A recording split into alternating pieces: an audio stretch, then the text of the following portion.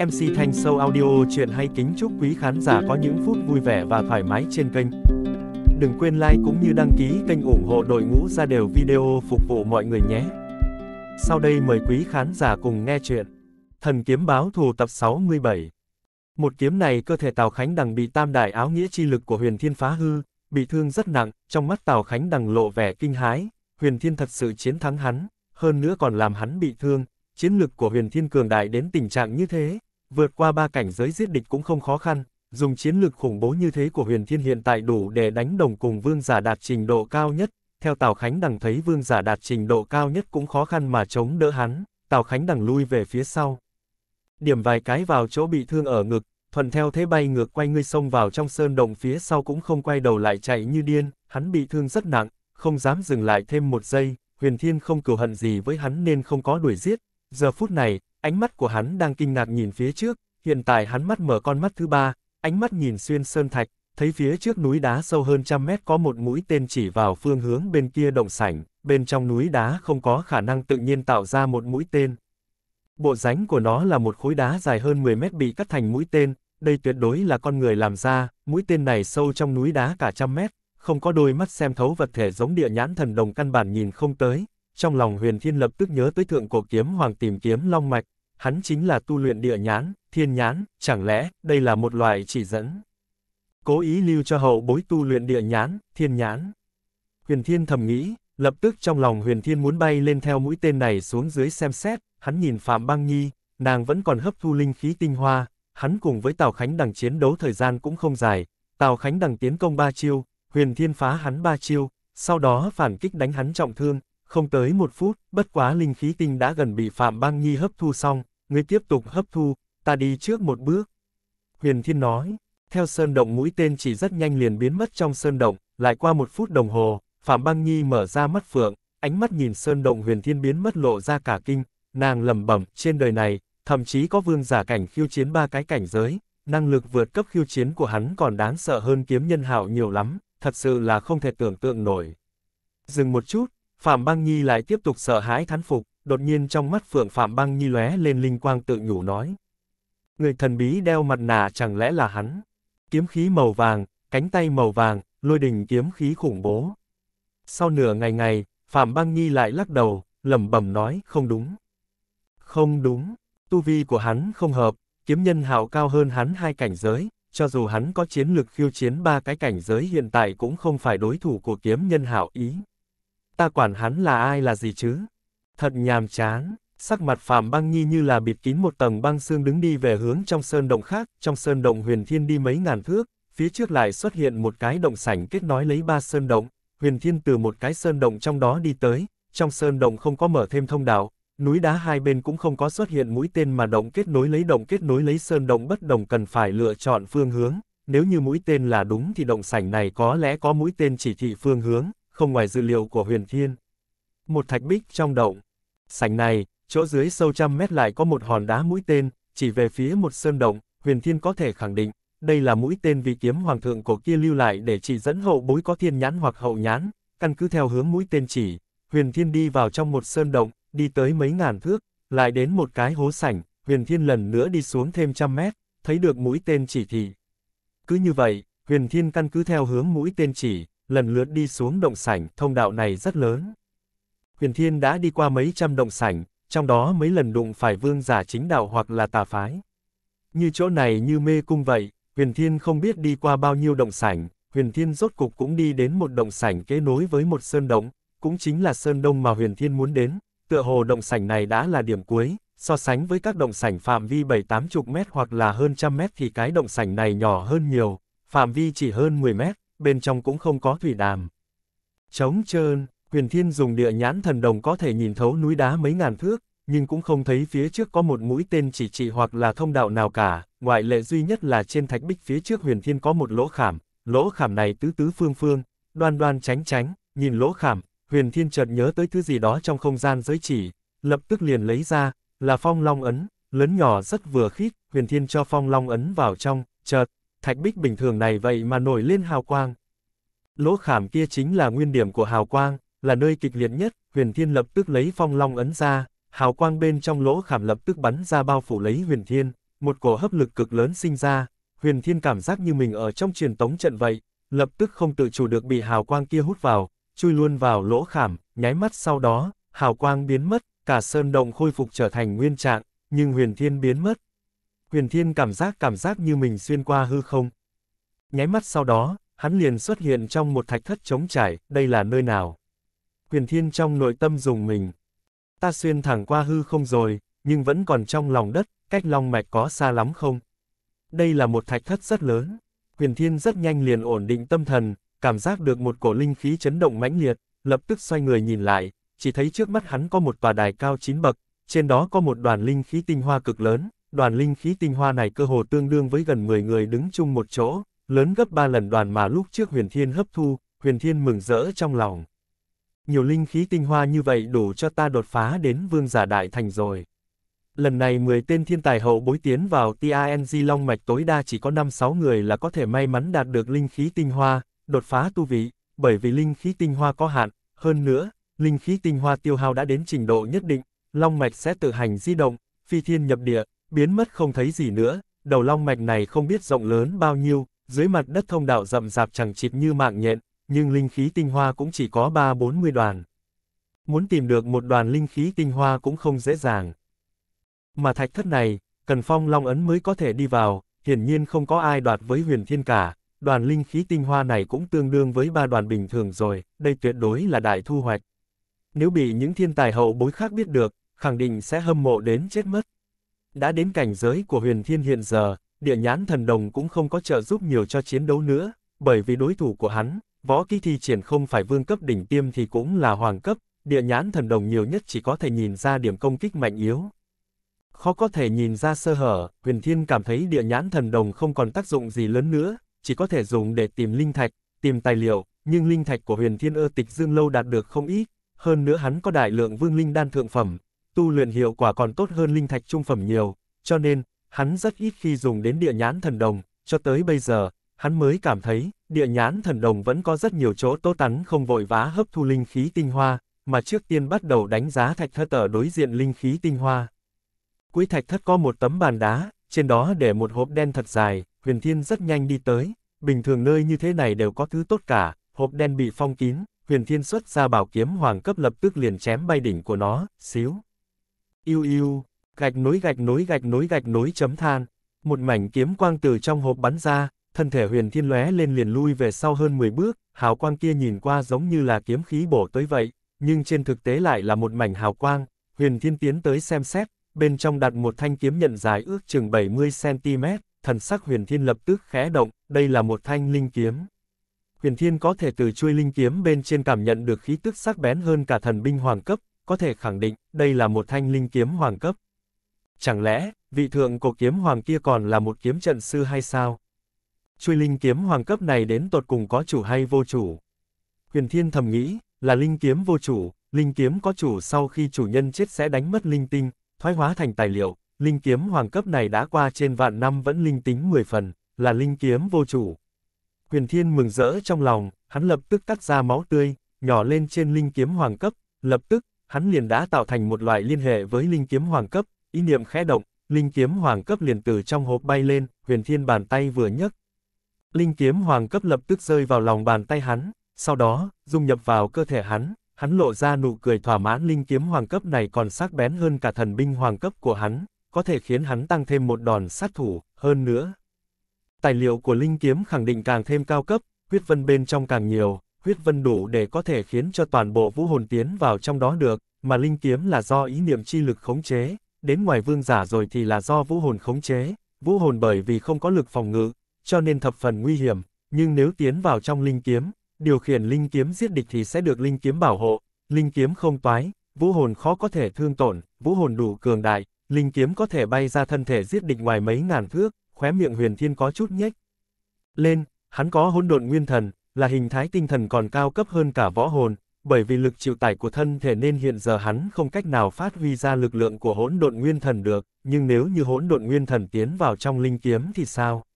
Dùng độ chắc chắn của linh kiếm hoàng cấp, có lẽ có thể chịu tải được lực lượng của hỗn độn nguyên thần, mà nguyên thần không giống võ hồn không cách nào ly khai thân thể quá lâu, căn bản không có hạn chế về thời gian, đây chẳng phải là nói. hỗn độn nguyên thần tiến vào linh kiếm liền có thể bay đi rất xa sao. Nguyên thần ngự kiếm mà đi, bay ra ngoài ngàn dặm, thậm chí là vạn dặm để giết địch. Huyền Thiên nghĩ thầm trong nội tâm, cảm thấy rất là kích thích, một thanh linh kiếm, bay ra ngoài vạn dặm giết địch, chỉ sợ người biết giết cũng không rõ là ai giết hắn à, mặc dù là có người trông thấy linh kiếm giết người thì cũng không biết rõ linh kiếm được ai điều khiển, thu linh kiếm hoàng cấp lại, huyền thiên mới chú ý tới, nguyên lai hộp đen có hai ô vuông. Trong đó một ngăn rất dài, để linh kiếm hoàng cấp, còn ngăn khác lại để một quyển sách, huyền thiên cầm bộ sách kia lên xem xét địa nhãn thần đồng. Trong không gian giới chỉ của huyền thiên cũng có một bản địa nhãn thần đồng, hắn lập tức mang ra, đối chiếu hai quyển với nhau, bìa mặt giống như đúc, bất quá, huyền thiên trông thấy địa nhãn thần đồng lấy ra từ trong hộp đá kia rõ ràng còn dày hơn một ít, mở hai quyển ra xem xét, liền biết rõ khác nhau chỗ nào. Địa nhãn thần đồng của huyền thiên trước kia chỉ có phương pháp tu luyện tới vương giả cảnh. Sau vương giả cảnh sẽ không có nữa, mà địa nhãn thần đồng trong hộp đen sau vương giả cảnh còn có một phần rất dài, huyền thiên lập tức liền rõ, địa nhãn thần đồng trước kia hắn tu luyện cũng không hoàn chỉnh, địa nhãn thần đồng chính thức trên thực tế là một loại công pháp vương cấp đỉnh tiêm, sau khi tu luyện có thể xem rõ sơ hở của công pháp vương cấp, vị thượng cổ kiếm hoàng kia, ta thật sự phải hào hào cảm tạ ngươi, để lại một đoàn linh khí tinh hoa lớn như vậy, còn có một thanh linh kiếm hoàng cấp vô chủ. Hơn nữa còn có địa nhãn thần đồng nguyên vẹn, rất cảm tạ rồi.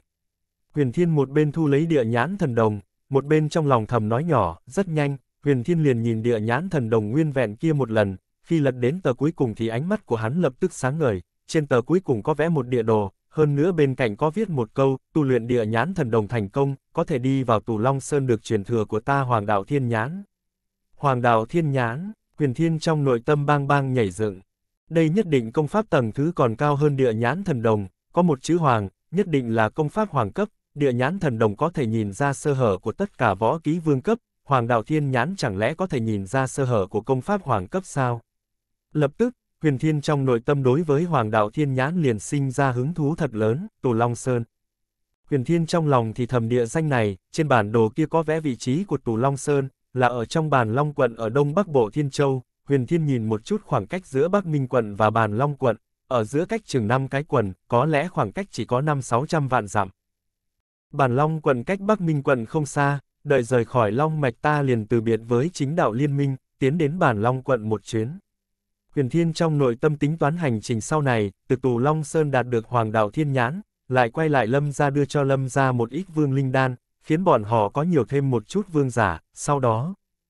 Sau đó ta liền đi Thần Châu, tìm về ký ức của ta lúc trước. Thu địa nhãn thần đồng vào trong không gian giới chỉ, huyền thiên ý niệm khẽ động, linh kiếm hoàng cấp liền đi tới tới vị trí mi tâm, trong không gian mi tâm, hỗn độn nguyên thần chui vào trong linh kiếm hoàng cấp, những huyết vân kinh mạch kia có thể cho ý niệm sống nhờ. Nháy mắt sau đó, linh kiếm hoàng cấp liền từ trong mi tâm vọt ra, huyền thiên nhắm mắt lại, nhắm lại địa nhãn thần đồng, nhưng hắn còn có thể trông thấy tất cả trong thạch thất.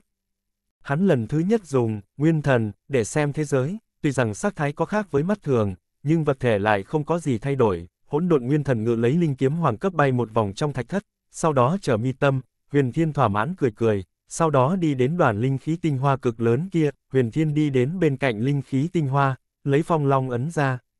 Lúc trước huyền thiên tìm được phong long ấn trong không gian giới chỉ còn không biết có tác dụng gì, nhưng vừa rồi hắn liền nghĩ tới. Tu vị ý niệm của hắn rất cường đại. Tuy rằng trên hỗn độn nguyên thần bị chém một dấu, nhưng một ít thứ chỉ cần có trí nhớ, chỉ cần có chút kích phát thì hắn sẽ liền từ từ nhớ ra lại. Đây chính là nguyên nhân hắn muốn đi thần châu, nếu đó là cố hương của hắn, nhất định sẽ có rất nhiều nơi quen thuộc, có thể kích phát trí nhớ của hắn, phong long ấn có thể chấn trụ long mạch, vì để tránh cho linh khí tinh hoa tự mình chạy trốn, huyền thiên liền trực tiếp phong ấn nó để có thể an tâm hấp thu, sau đó, huyền thiên liền ngồi ở bên cạnh linh khí tinh hoa. Bắt đầu hấp thu luyện hóa, từng đạo linh khí tinh hoa bị huyền thiên hút vào trong cơ thể, hóa thành năng lượng tinh thuần nhất, khiến cương nguyên của huyền thiên phi tốc tăng lên, linh khu cũng rất nhanh cường hóa, ý niệm tu vị của huyền thiên đã sớm đến tam giai sơ kỳ, hiện giờ tranh lệch chính là tu vị linh khu, chỉ cần linh khu đột phá đến nhị cấp, hắn liền lập tức bước vào vương giả đại thành chi cảnh, vương giả tiểu thành cực hạn đến vương giả khác với từ vương giả cảnh sơ kỳ đỉnh phong đến trung kỳ. Là một điểm thực lực được tăng phúc khá lớn trong vương giả cảnh, huyền thiên tu luyện cứu cực dẫn tinh quyết, cảm ứng được cực hạn tinh thần, tu luyện áo nghĩa chi lực thật nhanh, chỉ cần thân thể tăng lên tu vi thì ý niệm của hắn cũng sẽ nhanh chóng đột phá, kết quả chính là thực lực tăng lên, thời gian từng phút từng giây trôi qua. Linh khí tinh hoa dần dần giảm bớt, mà tu vị của huyền thiên cũng đang không ngừng tăng cao. Cũng không lâu lắm, cả đoàn linh khí tinh hoa, toàn bộ đều bị huyền thiên hấp thu đến không còn một mảnh.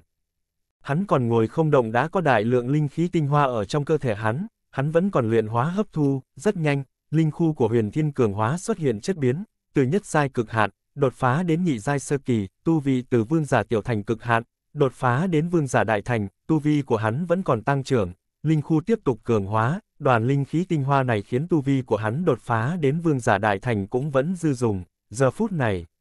Trên không tiên cảnh hồ phía đông ngoài trăm dặm, trên vòm trời xuất hiện một vòng xoáy lôi điện cực đại. Trên tiên cảnh hồ, vương giả của tà phái, chính đạo phân thành hai bộ phân, cách xa nhau hơn 10 dặm, ánh mắt đều bị vòng xoáy lôi điện đột nhiên xuất hiện trên không trung hấp dẫn, lại có người đột phá, muốn độ lôi kiếp, thanh thế lôi kiếp này thật cường đại, ta lúc đầu lôi kiếp độ vương giả đỉnh tiêm cũng không có thanh thế như vậy a. À. Ai đang độ kiếp, thực lực khẳng định phi thường cường đại, chẳng lẽ là kiếm nhân hảo.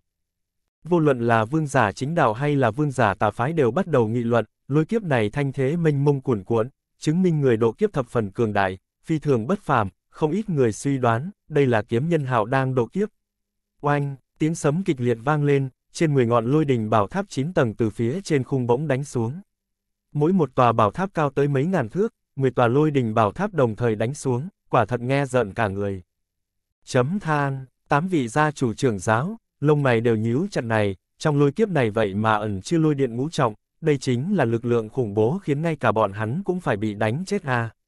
Lôi kiếp do một hậu bối đưa tới vậy mà đạt đến tình trạng này, đây là chiến lược biến thái cỡ nào.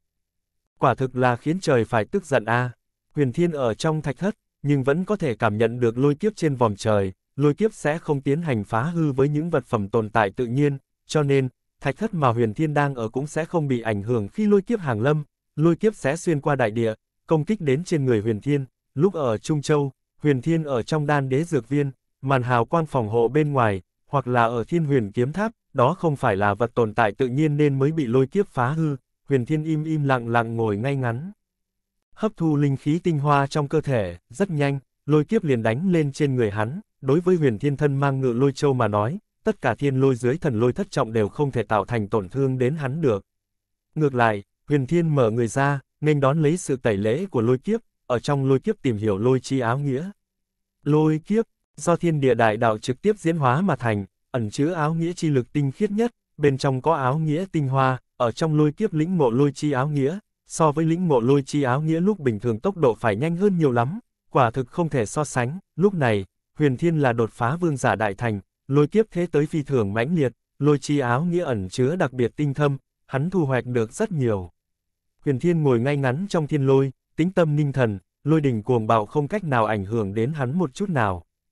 Hắn toàn tâm đều dung nhập vào trong lôi chi áo nghĩa, hắn cẩn thận cảm thụ lực lượng của lôi kiếp, sự huyền diệu của lôi chi áo nghĩa. Lĩnh ngộ của huyền thiên đối với lôi chi áo nghĩa phi tốc tăng lên. Mặt đất, trên không tiên cảnh hồ, trên vòm trời lại xuất hiện một vòng xoáy lôi đình. Khí thế bành trường kia so với vòng xoáy lôi đình vừa rồi cũng không yếu hơn chút nào cả rầm rầm rầm rầm rầm Chấm than, đại lượng lôi đình bảo tháp 9 tầng rơi xuống, lôi đình chi lực cuồng bạo kia so với lực lượng vừa rồi càng thêm kinh khủng. Vương giả của chính đạo, tà phái toàn bộ đều đã đi lên trên không tiên cảnh hồ, bay ra ngoài mấy trăm dặm, đứng xa xa nhìn hai chàng lôi kiếp khủng bố kia, nếu như mới vừa rồi là kiếm nhân hạo độ kiếp, vậy bây giờ là ai độ kiếp thế? Chẳng lẽ có lôi kiếp người nào còn cường đại hơn cả hắn nữa sao? Có vương giả kiếm ra khó hiểu nói, 10 tên thiên tài hậu bối của chính đạo và tà phái đã tiến vào long mạch một thời gian ngắn rồi, phía trước đã từng có hai trận lôi kiếp, nhưng hiển nhiên không đáng sợ bằng lần này. Nhìn lôi kiếp trên không chúng, trong mắt vương giả lão bối đều lộ kinh ý, bọn hắn tới giờ cũng chưa thấy qua chiến lược chính thức của những thiên tài hậu bối này, xem trình độ kinh khủng của lôi kiếp liền có thể phán đoán được. Chiến lược của một vài hậu bối thập phần đáng sợ, sau khi qua hơn 10 trên bầu trời lại xuất hiện vòng xoáy lôi đình, lại có người bắt đầu đổ kiếp rồi. Số lần lôi kiếp xuất hiện là 5 lần, chứng minh có 5 vị hậu bối thiên tài có thu hoạch trong long mạch, tu vị đột phá, sau khi qua hơn 10, trên bầu trời xuất hiện vòng xoáy lôi đình lần nữa, người thứ 6 độ kiếp rồi, tiếp qua hơn 10, có lôi kiếp biến mất, có người đã độ xong, nhưng vòng xoáy lôi đình lần đầu xuất hiện vẫn còn tiếp tục, lôi kiếp lúc này của huyền thiên cơ hồ có thể so với lôi kiếp lúc thành vương. Rằng co suốt cả một canh giờ. Liên tục một canh giờ, huyền thiên đều đang dụng tâm cảm ngộ lôi chi áo nghĩa, rốt cục khi độ kiếp được 3 phần tư, lĩnh ngộ của huyền thiên đối với lôi chi áo nghĩa cũng đã có chỗ đột phá, đạt đến tam giai đỉnh phong, tam giai đỉnh phong, đây là cảnh giới vũ hồn của vương giả đỉnh tiêm đỉnh phong, thực lực của huyền thiên sau khi bước vào vương giả đại thành đã có tiến bộ lớn, vô luận là áo nghĩa chi lực hay là linh khu chi lực, đều vượt qua xa lúc còn ở vương giả tiểu thành cực hạn có thể so sánh, độ lôi kiếp xong. Huyền thiên hấp thu hết linh khí tinh hoa còn sót lại trong cơ thể, tu vị ở vương giả đại thành đã củng cố không ít, nếu như không có những linh khí tinh hoa dư thừa kia, huyền thiên tu luyện 2 tháng, mới có thể củng cố đến tình trạng như giờ, chuyến đi long mạch lần này xem như đại công. Huyền thiên đứng lên, lần nữa tìm tòi khắp thạch thất, ở một hẻo lánh phát hiện một cái truyền tống trận, hẳn là đi thông mặt đất, cho người thu hoạch, tự nhiên phải để người rời đi, huyền thiên không vội vã đi ra ngoài. Hắn áp chế hết tất cả khí lộ ra, vẫn bảo trì bộ dáng trước kia, chỉ cần không người nào kiểm tra đo lương cảnh giới linh khu thì dựa vào mắt thường rất khó nhìn ra tu vị của hắn, chuyến đi long mạch có người đột phá tu vị, nhưng lại có người lãng phí thời giờ. Huyền Thiên không muốn bị người đỏ mắt nhớ thương lấy. Phong ấn tu vị ơ mức vương giả tiểu thành cực hạn, Huyền Thiên bước chân vào truyền tống trận, trong nháy mắt sau hắn liền xuất hiện, bên cạnh có một cái hồ lớn thanh tịnh, đúng là tiên cảnh hồ Huyền Thiên xuất hiện ở phía đông tiên cảnh hồ. Hắn vừa mới xuất hiện, tiểu Hổ liền từ trên đầu vai phiêu tuyết các chủ nhảy xuống, sau đó xuyên thẳng qua hư không, thuấn di hai cái liền xuất hiện bên cạnh huyền thiên bên cạnh, nhảy lên đầu vai hắn, tiến vào long mạch, danh ngạch có hạn, huyền thiên không mang tiểu Hổ đi vào, nó đi theo bên người phiêu tuyết các chủ, huyền thiên hư không dẫm chân tại chỗ, đi tới phía vương giả của chính đạo liên minh, thiên thần, tu vi của ngươi đột phá sao? Kiếm thượng tiệm thấy huyền thiên tới, xa xa hỏi, huyền thiên lắc đầu. Nói, không có, nếu như người khác vừa hỏi đã nói, vậy thì hắn cũng không cần phong ấn tu vị nữa, kiếm thượng tiệm và vương giả kiếm ra khóe miệng nhếch lên, không có hỏi lại, huyền thiên là người thứ nhất đi ra, những hậu bối thiên tài khác cho dù tu vị đột phá, nhưng cũng không nỡ đi ra, muốn ở trong long mạch tìm kiếm một phen, nếu còn có thể tìm được linh khí tinh hoa, vậy thì tu vi của bọn hắn còn có thể tăng trưởng, huyền thiên dừng lại trước phiêu tuyết các chủ trăm mét, phiêu tuyết các chủ, các vị tiền bối chính đạo. ván bối không quay lại tổng bộ rồi, sau này sẽ hành tẩu thiên hạ nên giờ đến từ biệt với cách vị tiền bối, phiêu tuyết các chủ nhẹ gật đầu, nói, đa tạ ngươi xuất lực do chính đạo luận, ngày sau có rảnh, có thể tới phiêu tuyết các các tham quan một chút. Vương giả của tam đại thế lực khác nhìn thoáng qua phiêu tuyết các chủ, có chút khó hiểu vì sao huyền thiên lại có quan hệ gần với phiên tuyết các như vậy, ngươi chuẩn bị đi nơi nào. Kiếm thượng kiếm hỏi, huyền thiên đạo, tùy tiện đi một chút. Nói xong, liền quay người thuấn di rời đi, trong nháy mắt hơn trăm dặm, rất nhanh liền biến mất ở bầu trời phía đông kiếm thượng tiệm nhìn bóng lưng huyền thiên biến mất, trong lòng có chút không bỏ, nghe nói trên người hắn có một thanh bảo kiếm hoàng cấp AH. Huyền thiên ly khai, xa xa vương giả tà phái cũng thấy rõ, tiểu tử này giết hơn 10 vị vương giả tà phái ta, trong đó kể cả 6 vị vương giả đại thành, hơn nữa cũng là bởi vì hắn, khiến chính đạo cầm hòa trong tràng luận võ này, nếu không người lần này tiến vào long mạch toàn bộ đều là vương giả của tà phái ta. Các vị, tiểu tử này xem như làm hư chuyện phái ta, các người nó xem, phải nên xử lý hắn thế nào, âm liên tinh dùng hồn niệm truyền âm cho bái hỏa giáo chủ, ám nguyệt giáo chủ, gia chủ tào gia, bái hỏa giáo chủ hồn niệm truyền âm nói, chiến lực của hắn quá mạnh mẽ, tiềm lực phi thường lớn, vẫn không nên chọc vào thì tốt hơn, âm liên tinh hồn truyền âm nói, cường đại trở lại cũng chỉ là vương giả tiểu thành cực hạn, hắn không phải người kiếm gia, liên gia, phi vân tông, phiêu tuyết các, sau lưng chỉ là lâm gia nho nhỏ. Dùng sự cường đại của tà phái chúng ta còn không giết được hắn sao? Bái hỏa giáo chủ hồn niệm truyền âm nói, có lẽ, hắn ở trong long mạch đã đột phá tu vị, đã trở thành vương giả đại thành, tình huống lôi kiếp lúc trước các ngươi đều thấy được, nếu lôi kiếp kia là hắn, như vậy thực lực của hắn còn cường đại hơn tưởng tượng của các người nhiều lắm. Âm liên tinh hồn niệm truyền âm nói, hỏa mục trần, lá gan của ngươi lúc nào nhỏ như vậy, cho dù hắn là vương giả đại thành thì đã sao, không có bối cảnh cường đại thì sẽ giống như Lý Ngư Vương trong hồ vậy. Mặc dù là vương giả đại thành cực hạn cũng bị chém giết dễ dàng, đúng vậy, chỉ cần sau lưng không có chuẩn hoàng, chém giết thì chém giết, dù là thiên hạ đều biết cũng không sao. Ám Nguyệt giáo chủ hồn niệm truyền âm nói, tùy các ngươi, dù sao bái hỏa giáo không tiếp tay làm việc xấu, trên người hắn có chuôi bảo kiếm hoàng cấp, có lẽ đó mới là mục tiêu của các ngươi, bảo kiếm hoàng cấp đích thật là bảo vật vô thượng, bất quá nếu các ngươi chiếm được, ta xin chúc mừng các ngươi. Bái hỏa giáo chủ hồn niệm truyền âm nói. Gia chủ tào ra một mực trầm mặc, bái hỏa giáo chủ nói rõ không tham gia, âm liên tinh và ám nguyệt giáo chủ liếc nhau, khóe miệng nhếch lên, huyền thiên sau khi rời đi không lâu, thiên tài hậu bối còn lại vô luận là chính đạo hay tà phái, đều lục tục đi ra khỏi tiên cảnh hồ.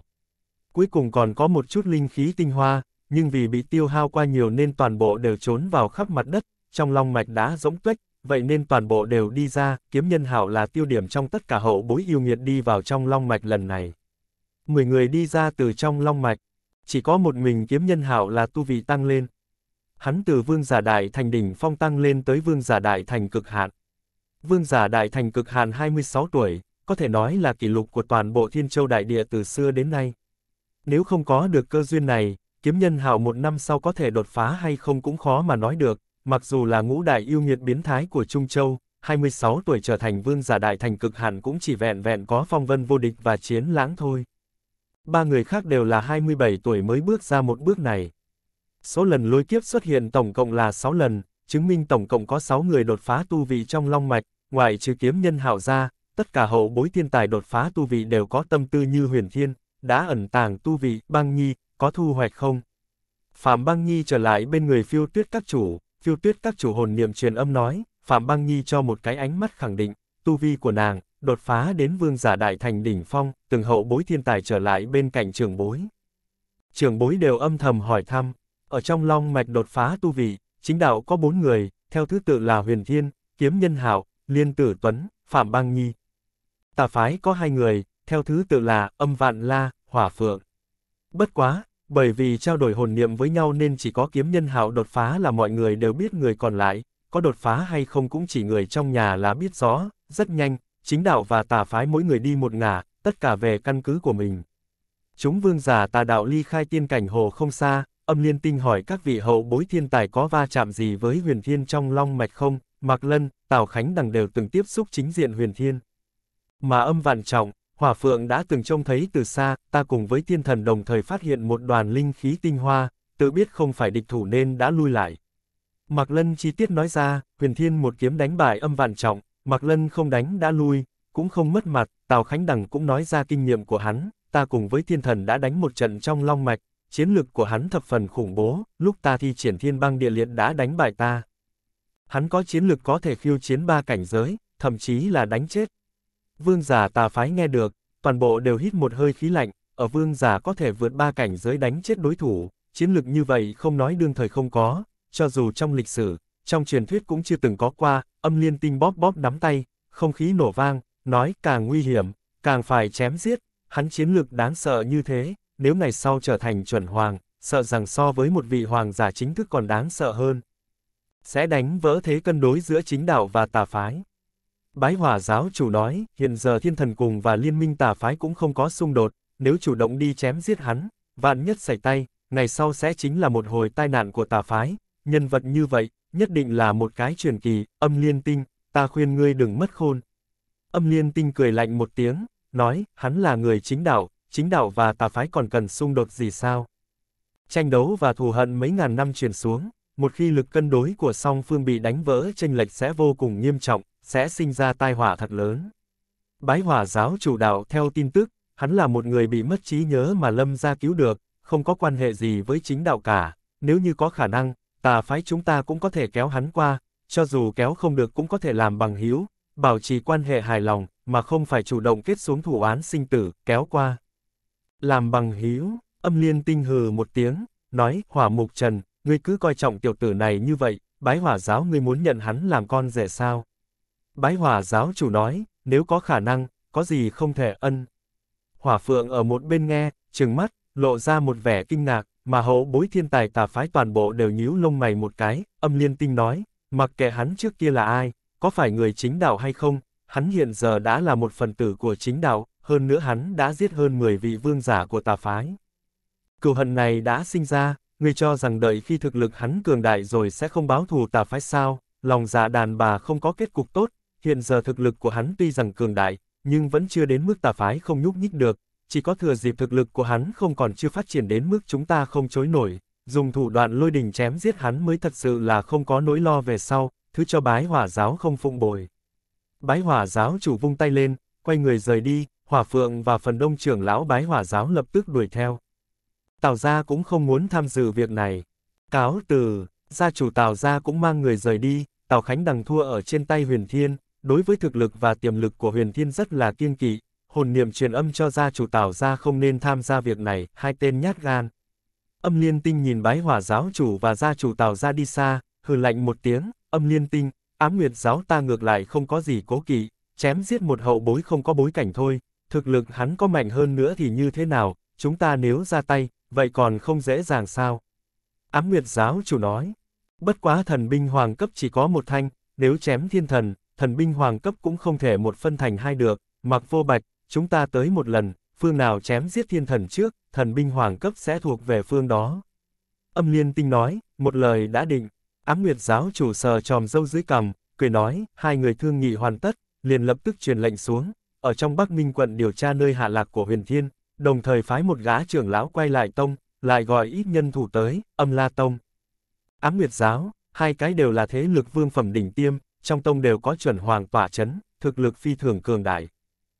Cứ điểm che giấu của hai thế lực lớn che kín toàn bộ tất cả quận Thiên Châu, mà ngay cả tổng bộ liên minh chính đạo và với kiếm gia cũng không ngoại lệ, âm La Tông và Ám Nguyệt giáo muốn tìm tìm một người, trừ phi người nọ một mực trốn ở một chỗ vĩnh viễn không đi ra, nếu không, chỉ cần xuất hiện trong cảnh nội Thiên Châu, về cơ bản không thể nào không tìm thấy được, một đạo lại một đạo mệnh lệnh tản ra tứ phương, hình thành một tấm lưới rậm rạp chẳng chịt. Huyền Thiên giống như một con cá, sắp bị một cái lưới lớn bao phủ, ngay khi âm La Tông và Ám Nguyệt Giáo toàn lực tìm kiếm Huyền Thiên. Thiên Châu, trên một đỉnh núi phủ đầy mây mù nào đó, Thiên Cơ Vương, đối thủ của ta đã đến. Một người đầu mang mặt nạ, mặc áo giáp đứng trước một sơn động mây mù phiêu miểu nói, người thừa kế bất diệt kim thân sao. Trong sơn động, truyền ra một thanh âm bồng bềnh bất định, giống như từ xa xa, không sai. Người đeo mặt nạ nói, hắn là một người rất nguy hiểm, còn nguy hiểm hơn cả kiếm nhân hảo, yên tâm. Không có số mệnh người nào có thể vượt qua ngươi, ngươi dùng thiên lôi chi tinh tôi thể, đúc thành linh khu cửu phẩm, cho dù là lôi linh thể trong truyền thuyết đều so ra kém ngươi, ngươi cần chỉ là thời gian mà thôi, tiềm lực của ngươi, cho dù là thần tử cũng không bằng, Thiên Châu chỉ là địa phương nhỏ bé, cuối cùng có một ngày, ngươi sẽ tủ long thoát khốn, nhất phi trùng thiên, đợi đi. Ngày đó nhất định sẽ đến. Trong sơn động truyền đến thanh âm bồng bềnh bất định, người thừa kế chính thức của bất diệt kim thân chỉ có một người duy nhất, đây là cái giá lớn minh đế để cho chúng ta trọng sinh cả đời, ta cùng với hắn phải chết một người.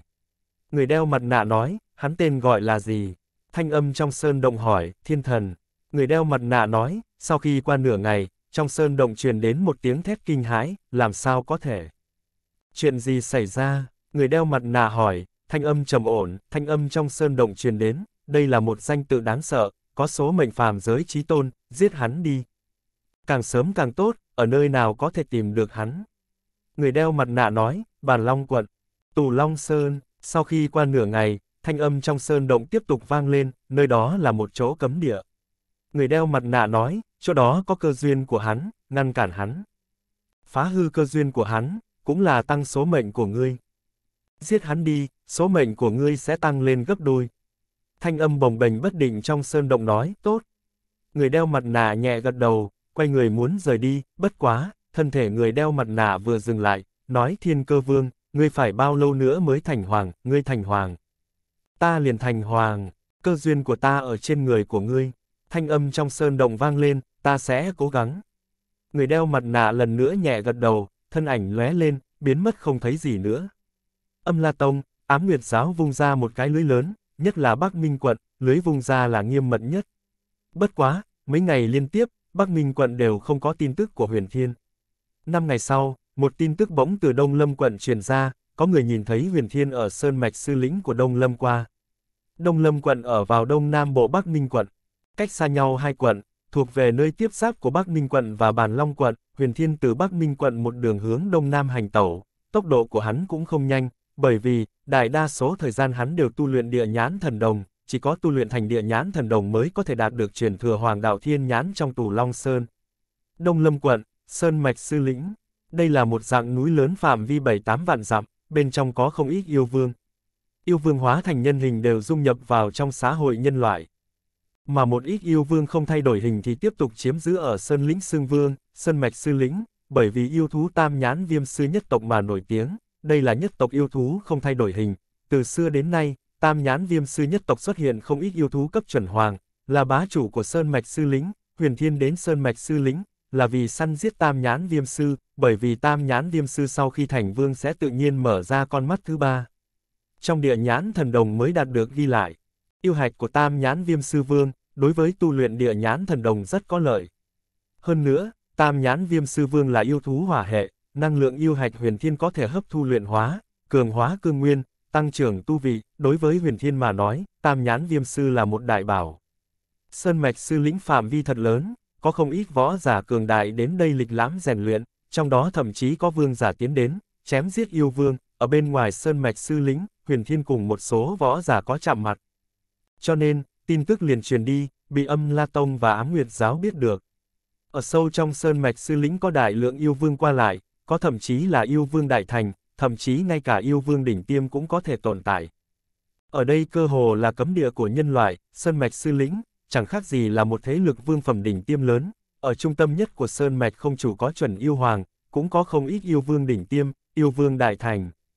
Chấm than, nếu như không có chuyện đặc thù, cho dù là vương giả đỉnh tiêm cũng không muốn vào sâu trong đó, vương giả có thể phá toái hư không thuấn di, vốn nên là thiên hạ không chỗ nào không thể đi, nhưng trận pháp sư nhân loại đã sáng tạo ra trận pháp giam cầm hư không, cho nên, có nơi có trận pháp không gian giam cầm hư không, đối với vương giả mà nói, đều là địa phương nguy hiểm, chỉ cần là thế lực vương phẩm cơ hồ đều có trận pháp như thế cả, sau khi yêu vương biến hóa có thể học tập trận pháp giam cầm hư không của nhân loại, mà một ít yêu thú không thay đổi hình không hiểu được sự ảo. Diệu của trận pháp nhân loại, bất quá, yêu thú không thay đổi hình rất thân cận với thiên nhiễn, lĩnh mộ đối với áo nghĩa tương đối tinh thâm, không gian áo nghĩa là một trong những áo nghĩa mà bản thân điều khiển tự động phải lĩnh mộ, khi không gian áo nghĩa tinh thâm đến trình độ nhất định, có thể tự nhiên diễn hóa ra một cái vực tràng giam cầm không gian, cho nên, bình thường yêu vương lợi hại giam cầm hư không là một loại bản năng, đương nhiên, ít nhất cũng phải là yêu vương đã ngoài đỉnh tiêm mới có thể có loại bổn sự này, đúng là loại năng lực giam cầm hư không này khiến vương. Giả nhân loại đã ngoài đỉnh tiêm cũng không dám đơn giản bước vào một ít chỗ sâu trong địa bàn yêu tộc, cho nên, huyền thiên ở bên ngoài sơn mạch sư lĩnh còn chạm mặt qua với một ít võ giả, nhưng khi hắn xâm nhập vào trong sơn mạch sư lĩnh một hai vạn dặm thì trên cơ bản không thấy bóng dáng nhân loại nữa, chỉ nghe thấy một ít tiếng giống của hung man mãnh thú thôi. Tam nhãn viêm sư tuy rằng là tộc đàn cường đại nhất trong sơn mạch sư lĩnh, nhưng sơn mạch sư lĩnh diện tích rộng lớn, cho dù là khu vực trung tâm cũng có phạm vi mấy vạn dặm, bên trong sinh tồn vô số yêu thú, tam nhãn viêm sư chỉ là nhất tộc trong đó, còn có rất nhiều những tộc đàn vương cấp khác nữa, nhân loại xuất hiện ở sâu trong sơn mạch sư lĩnh rất dễ làm người khác chú ý, nếu nghênh ngang phi hành trên không trung, nhất định sẽ đưa tới sự quẩn công của vô số yêu thú, mà chậm rãi hành tẩu trên mặt đất. Một đường chém giết yêu thú mà đi, tốc độ cũng không chậm chạp bao nhiêu, bởi vì yêu thú bên trong thật sự là nhiều lắm, giết 10 ngày nửa tháng cũng không nhất định đụng được một đầu tam nhãn viêm sư, hơn nữa, đối với yêu vương đỉnh tiêm tùy thời đều có thể xuất hiện, ở sâu trong sơn mạch sư lĩnh một nhân loại muốn ở lâu trong đó giết chóc thời gian dài căn bản không có khả năng. Cho nên, muốn ở sâu trong sơn mạch sư lĩnh tìm được một đầu tam nhãn viêm sư yêu vương, cũng không dễ dàng, đối với những người khác mà nói. Cho dù là vương giả đỉnh tiêm, săn giết tam nhãn viêm sư yêu vương cũng là chuyện khó mà làm được, bất quá, đối với huyền thiên mà nói thì tất cả đều có khả năng, huyền thiên ở trên bầu trời thuấn di mà đi, rất nhanh bay qua, khí tức của vương giả đại thành phát ra. Những nơi đi qua, yêu thú thấp hơn yêu vương đại thành tất cả đều giảm thanh biệt tích, run như cầy sấy, trốn ở trong xào huyệt, không dám ra ngoài, huyền thiên một đường bay đến sâu trong sơn mạch sư lĩnh gần hai vạn dặm mới gặp sự tập kích của yêu thú. Là một đầu yêu vương đại thành đỉnh phong bỗng từ mặt đất thuấn di lên ngăn trước mặt huyền thiên, uy áp khủng bố như cơn sóng gió động trời áp bách mà đến, đây là một con rết khổng lồ dài đạt ngàn mét, rậm rạp chẳng chịt không biết bao nhiêu là cái chân như lưỡi đao sắc, mỗi một cái đều sắc bén hơn cả bảo khí vương cấp đỉnh tiêm, con ngô công vương này phun ra nuốt vào khói độc, vung vẩy lấy trăm ngàn cái chân nhọn như là bảo khí vương cấp, đánh tới huyền thiên, ở địa bàn yêu thú, yêu thú tập kích võ giả nhân loại. Căn bản không cần lý do, cũng như trong nhà thấy trộm vậy, lao tới đánh liền. Sơn mạch sư lĩnh là địa bàn yêu thú, huyền thiên xông tới, không khác gì trộm vào nhà người khác cả, nhưng khác nhau vẫn phải có, một cái là mâu thuẫn của xã hội loài người, một cái là mâu thuẫn giữa nhân tộc và yêu tộc, xâm nhập vào nhà người khác, đó là trộm, nhưng võ giả săn giết yêu thú, yêu thú ăn võ giả, đây cũng là hiện tượng tự nhiên, không thể nói ai đúng ai sai cả. Cũng như hiện giờ huyền thiên và đầu ngô công vương này vậy. Không thể nói ai đúng ai sai, huyền thiên đi tới lãnh địa của nó, nó liền muốn ăn huyền thiên, mà huyền thiên tự nhiên sẽ không cam lòng để nó ăn tươi rồi. Cho nên, chiến đấu, là phải có. Xíu, yêu yêu, gạch nối gạch nối gạch nối gạch nối chấm than. Trong tay huyền thiên xuất hiện một thanh trường kiếm gần như trong suốt, là thần binh hoàng cấp, một ánh sáng đạo sáng chói bỗng nổ bắn ra mà ra. Ở địa bàn yêu thú, huyền thiên cũng không cần phải che giấu nữa, lấy ra bảo khí tốt nhất, thì triển ra kiếm khí lợi hại nhất, kiếm khí tuy rằng như sợi tơ, nhưng khí thế lại vô cùng khủng bố, so với yêu khí của con ngô công vương kia không biết mạnh gấp bao nhiêu lần. Những nơi bất diệt kiếm khí đi qua, trong chốc lát khói độc mà con ngô công vương kia phun ra liền như bị cuồng phong quét qua vậy.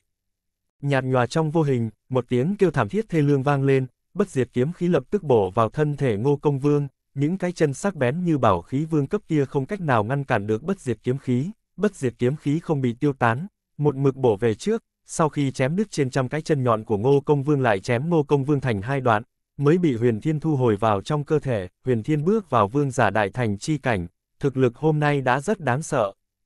Chém giết yêu vương đại thành đỉnh phong chỉ trong một kiếm. Thân thể khổng lồ ngô công vương rơi xuống mặt đất, như một cái sơn mạch vậy, nện đến khiến đại địa chấn động, hai đoạn thân thể vẫn còn đang giãy giụa, thân thể huyền thiên lóe lên đáp xuống, lần nữa chém ra một kiếm, bảo kiếm hoàng cấp bổ ra một đạo lôi đình kiếm cương sáng chói, lập tức bổ ra đầu lâu cực lớn của ngô công vương ra, lấy yêu hạch bên trong, ngô công vương liền xong đời, thân thể ngô công vương lực phòng ngự rất mạnh, có thể so với bảo khí vương cấp. Vương giả đại thành bình thường đánh lên cũng không động được nó, nhưng lực công kích của huyền thiên thập phần đáng sợ, hơn nữa còn có sự sắc bén của bảo kiếm hoàng cấp, chém giết yêu vương đại thành đỉnh phong rất dễ dàng, chém ngô công vương, huyền thiên lại phi hành về phía trước hơn trăm dặm liền ngưng lại, nếu đầu ngô công vương này đã công kích hắn, có thể thấy phía trước, yêu vương ngoài đại thành khẳng định số lượng không ít, hơn nữa, có thể sẽ có yêu vương đỉnh tiêm xuất hiện, huyền thiên tiến vào sơn mạch sư lĩnh mục tiêu chủ yếu là săn giết tam nhãn viêm sư. Cũng không muốn chém giết những yêu vương khác, nơi này là lãnh địa của ngô công vương, không có yêu vương khác tồn tại, huyền thiên ở trong một ngọn núi hơi khuất dùng bảo kiếm hoàng cấp đào ra một sơn động, sau đó, tiến vào trong đó, bên ngoài dùng lá cây bụi cỏ che lấp lại, từ bên ngoài căn bản nhìn không ra bên trong có sơn động. Làm tốt hết thảy, huyền thiên ngồi ngay ngắn, linh kiếm hoàng cấp trong cơ thể di chuyển đến mi tâm, hỗn độn nguyên thần chui vào, sau đó, linh kiếm hoàng cấp vọt ra khỏi mi tâm, nguyên thần ngự kiếm. Huyền thiên nguyên thần ngự kiếm du lịch, đánh chết tam nhãn viêm sư, như vậy thân thể của hắn cũng không cần lộ diện ở chỗ sâu trong sơn mạch sư lĩnh, rước lấy bị yêu thú đánh chết, linh kiếm hoàng cấp định ở trước mi tâm huyền thiên, một bóng người hỗn độn nho nhỏ đi ra khỏi kiếm, đứng trên thân kiếm, chân thân huyền thiên lấy ra một cái không gian giới chỉ, ném tới, bị hỗn độn nguyên thần tiếp trong tay, sau đó, xíu. Yêu yêu, thấp thoáng một phát, linh kiếm hoàng cấp mang theo hỗn độn nguyên thần, liền xông ra khỏi sơn động, lập tức biến mất không còn thấy bóng dáng tăm hơi, dùng hỗn độn nguyên thần ngự kiếm mà đi, dùng linh kiếm hoàng cấp đánh chết tam nhãn viêm sư, dùng không gian giới chỉ để chuyên trở yêu hạch. Nguyên thần có thể ly thể thật lâu, bay ra ngoài một tháng cũng không làm sao, huyền thiên có thể ngự kiếm đi khắp toàn bộ sơn mạch sư lĩnh. Nguyên thần ngự kiếm, tìm kiếm tam nhãn viêm sư, nhất định sẽ thắng lợi trở về. Hơn nữa, cho dù gặp yêu vương ngoài đỉnh tiêm, huyền thiên cũng không sợ chút nào, hỗn độn nguyên thần của hắn được linh kiếm hoàng cấp bảo hộ, cho dù là hoàng giả cũng khó có thể đánh nát linh kiếm hoàng cấp, yêu vương dưới hoàng cấp căn bản không gây thương tổn được cho hắn, gặp phải yêu vương không địch lại, trốn chạy cũng không thành vấn đề. Sau khi nguyên thần ngự kiếm bay đi, thân thể huyền thiên cũng không nhàn rỗi, hắn còn có hai đại vũ hồn lôi đình, hỏa diễm, thực sự không phải là không có có ý thức thân thể, thừa dịp thời gian này, huyền thiên bắt đầu tu luyện cứu cực dẫn tinh quyết, lúc này, huyền thiên không trực tiếp cảm ứng hai khỏa trí tôn tinh thần Thái Dương, cực điện, tìm hiểu hai loại áo nghĩa hỏa cùng lôi, mà tu luyện cảm ứng biên của cứu cực dẫn tinh quyết, tiếp tục cảm ứng tinh thần, lúc này hắn muốn cảm ứng ra ngôi sao thuộc về thổ thuộc tính. Nhanh chóng tu luyện địa nhãn thần đồng, sâu trong sơn mạch sư lĩnh, một điểm hào quang lóe lên liền 200 đến 300 dặm, nguyên thần huyền thiên ngự linh kiếm hoàng cấp mà đi, phá toái hư không thuấn di, không có một chút khí tức của nhân loại võ giả, tuy rằng sâu trong sơn mạch có đại lượng yêu vương cường đại, nhưng đều không thể cảm ứng được sự tồn tại của huyền thiên, có thấy cũng chỉ là hào quang lóe lên liền biến mất, linh kiếm hoàng cấp phá toái hư không thuấn di, tốc độ so với huyền thiên tự mình thuấn di phải nhanh hơn nhiều lắm, nguyên thần huyền thiên ngự kiếm. Trọn vẹn bay ra hơn 3.000 dặm, rốt cuộc tìm được một đầu tam nhãn viêm sư vương, là một đầu yêu vương tiểu thành, dài ước chừng 3 đến 4 mét, ghé vào trên một tảng đá lớn phơi nắng, yêu vương có thể biến hóa lớn nhỏ, chỉ có thời điểm chiến đấu, mới có thể biến hóa thân thể đến trạng thái lớn nhất, bình thường vẫn là dáng người nhỏ dễ dàng hơn một ít, xíu. Yêu yêu, Gạch nối gạch nối gạch nối gạch nối chấm than. Một đào hào quang sáng chói bỗng từ đằng xa lập tức bổ đến, lông trên người đầu tam nhãn viêm sư vương này dựng lên, lập tức cảm nhận được uy hiếp chí mạng. ba Hào quang hiện lên, tam nhãn viêm sư vương lập tức hóa thành hai nửa, ngay cả tiếng kêu cũng không kịp phát ra, đã bị linh kiếm hoàng cấp lập tức chém chết. Linh kiếm hoàng cấp sắc bén cỡ nào, nguyên thần ngự kiếm tốc độ cỡ nào, khoảng cách 2.000 đến 3.000 mét, trong nháy mắt liền đến.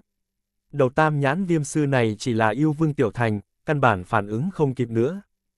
Chỉ có bộ lông dựng thẳng lên theo bản năng đã bị chém thành hai nửa, đi đời nhà ma. Sau khi sư vương chết thi thể hóa thành bộ dáng vốn có, dài chừng hơn 500 mét, trực tiếp đánh sụp hai tòa núi bên cạnh, linh kiếm hoàng cấp chém qua tam nhãn viêm sư vương, rất nhanh lại đã bay trở về, một bóng người hỗn độn xuất hiện trên thân kiếm, như là phiên bản thu nhỏ của huyền thiên vậy, khác biệt duy nhất là vết sẹo, hỗn độn nguyên thần bàn tay một chảo, hỗn độn áo như hội tụ thành một cái đại thủ, chộp lấy yêu hạch của tam nhãn viêm sư vương. Thu vào trong không gian giới chỉ, nháy mắt sau đó, linh kiếm hoàng cấp lóe lên liền biến mất không thấy gì nữa, tìm kiếm mục tiêu kế tiếp, cũng không lâu lắm, huyền thiên đã tìm được đầu tam nhãn viêm sư vương thứ hai, là một đầu yêu vương đại thành, bất quá, kết cục cũng giống với đầu yêu vương tiểu thành kia, bị linh kiếm hoàng cấp đột nhiên tập kích, hoàn toàn không có chỗ chống hoàn thủ, viên yêu hạch thứ hai đến tay, cứ như vậy, huyền thiên dùng nguyên thần ngự kiếm, xuyên thẳng qua chỗ sâu trong sơn mạch sư lĩnh. Không ngừng tìm kiếm tam nhãn viêm sư vương để đánh chết, đạt được yêu hạch, linh kiếm hoàng cấp thể tích nhỏ, tốc độ nhanh, xuyên thẳng qua trong rừng núi vô tung vô ảnh, vô hình vô tích, cho dù là yêu vương đại thành cũng rất khó phát hiện, như một sát thủ u linh vậy, một người tiếp một người thu gặt lấy tánh mạng của tam nhãn viêm sư vương. Một đầu tiếp một đầu tam nhãn viêm sư vương bị linh kiếm hoàng cấp chém giết. Một khỏa lại một khỏa yêu hạch, bị hỗn độn nguyên thần thu vào không gian giới chỉ. Hiệu suất chỉ một chữ cao, thời gian chậm rãi trôi qua. Trong sân động, chân thân huyền thiên vẫn một mực tại tu luyện cảm ứng quyền của cứu cực dẫn tinh quyết, hắn nhắm hai mắt, thần du vận ngoại, như đi tới trong tinh không vậy, trong óc, diễn hóa ra ngôi sao đầy trời, hắn cô tịch bồng bềnh trong tinh không, cẩn thận cảm ứng đến một khỏa lại một khỏa ngôi sao. Ngôi sao tuy rằng vô cùng vô tận, nhưng huyền thiên cũng cảm giác vô cùng xa xôi. Ngẫu nhiên một cái đến gần, không phải hỏa diễm thiêu đốt thì cũng là tản ra lôi đình, bởi vì cảm ứng được thái dương tinh, cực điện tinh, huyền thiên đối với ngôi sao hỏa chi áo nghĩa, lôi chi áo nghĩa cảm ứng rất nhẹ nhàng, bất quá, đó cũng không phải là mục tiêu của huyền thiên. Cảm giác của huyền thiên một mực chạy trong tinh không, thẳng đến khi hắn chứng kiến xa xa một quan điểm lập lòe màu vàng đất, thổ thuộc tính trong cơ thể huyền thiên chợt sinh ra cảm ứng, là nó.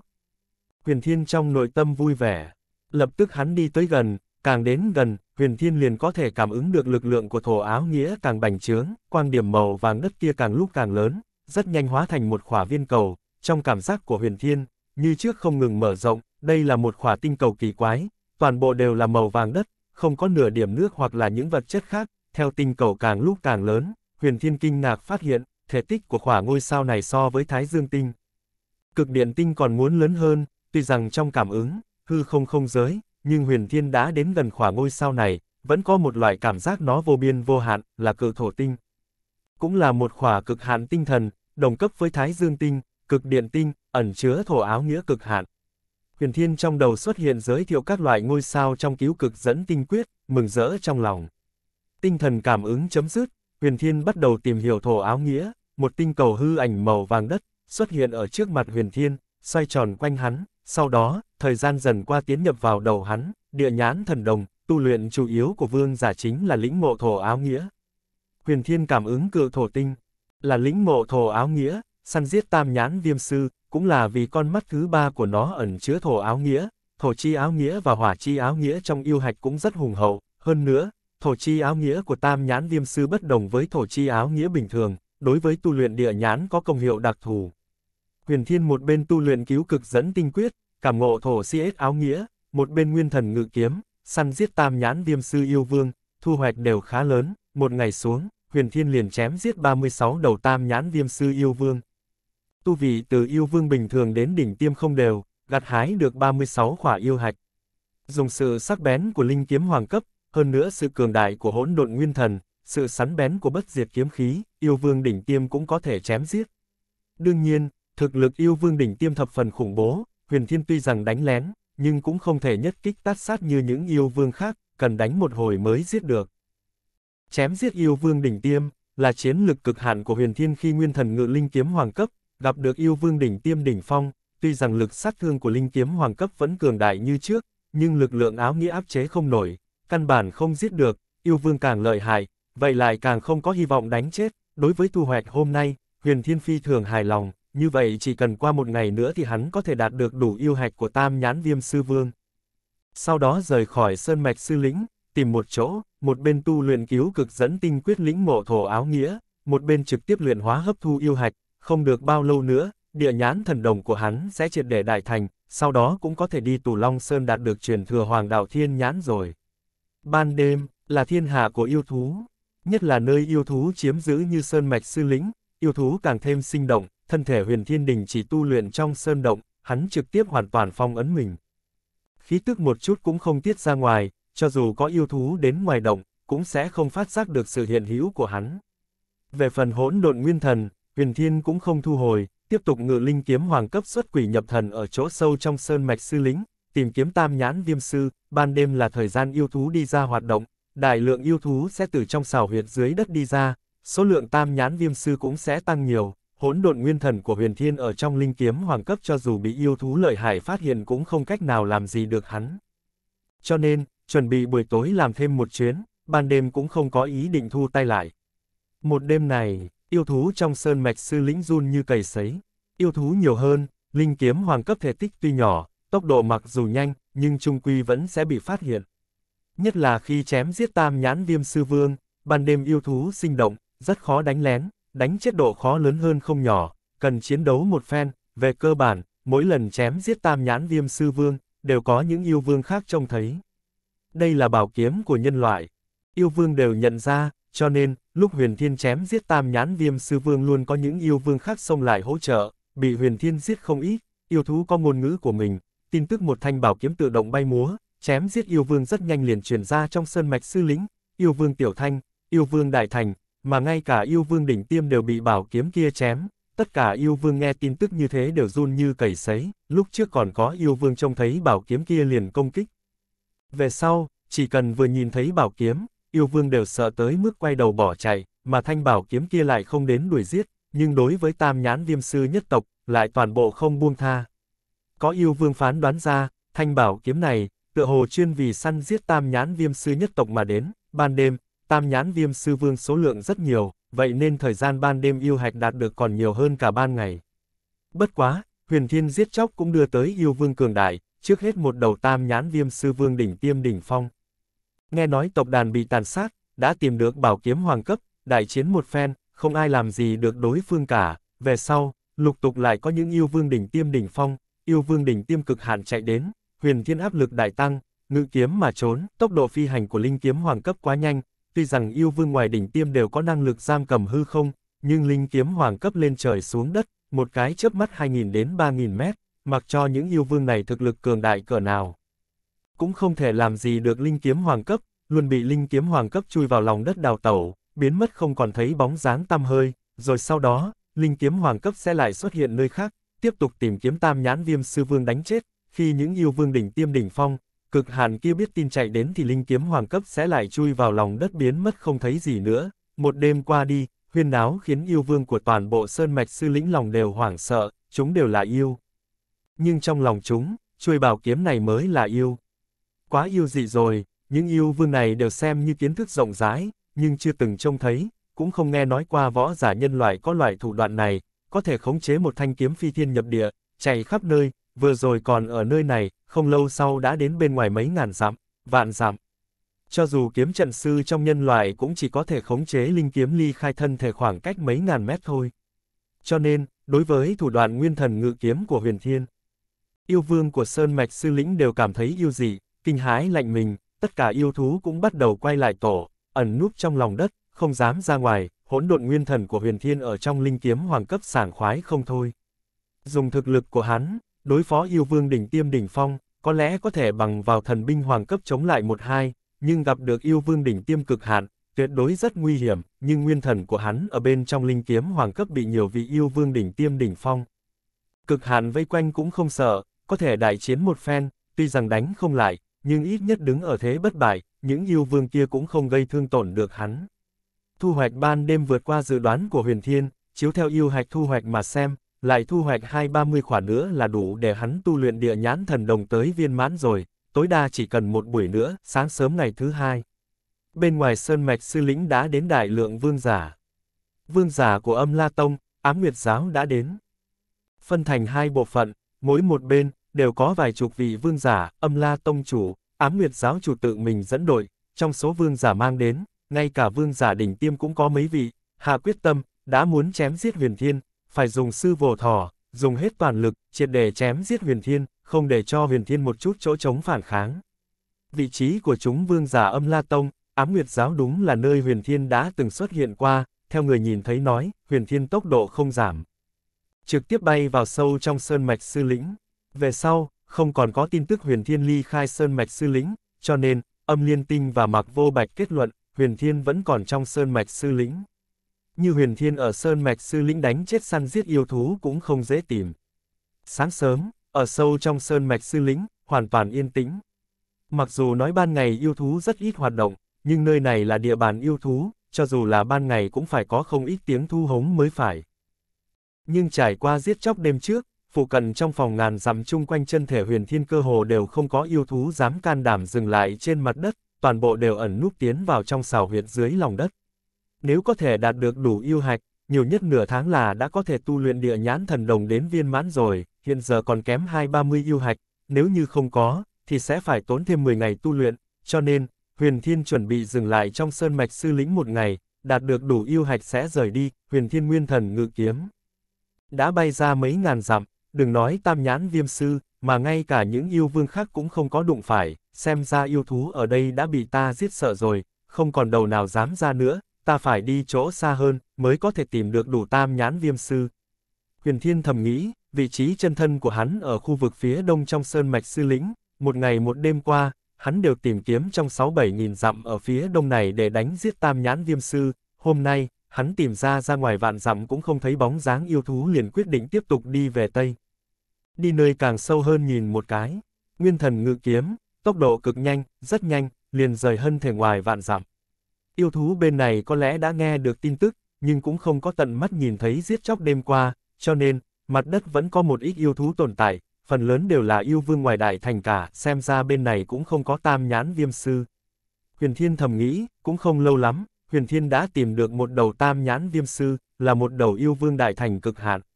Nó đêm qua không thể đạt được đủ đồ ăn, hiện giờ nó vẫn còn kiếm ăn. Mục tiêu của tam nhãn viêm sư vương là một con lộc cực lớn, cao chừng 200 mét, dài hơn 600 mét, là một đầu yêu vương đại thành.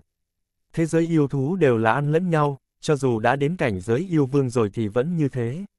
Chỉ có điều, yêu thú đã đến cảnh giới yêu vương thì không phân ra ăn thịt ăn cỏ nữa, Lộc yêu vương đại thành cũng có khả năng bắt giết tam nhãn viêm sư yêu vương tiểu thành, Lộc vương bị không gian giam cầm của sư vương đại thành cực hạn ảnh hưởng, không cách nào thuấn di mà trốn. Chỉ có thể dốc sức liều mạng chạy như điên, bất quá, sư vương đại thành cực hạn tốc độ rõ ràng phải nhanh hơn nhiều lắm. Vốn song phương cách hơn 4.000 mét cũng không lâu lắm liền đuổi đến trong vòng 2.000 mét, sư vương đại thành cực hạn bỗng mãnh liệt bổ nhào về phía trước, vèo. Tốc độ xoay mình tăng lên, một cái tung người đã là hơn 2.000 mét, đuổi theo Lộc Vương Đại Thành, Lộc Vương Đại Thành sau lưng như hai con mắt dài, lui về sau hai cái đá ra như thiểm điện, oanh.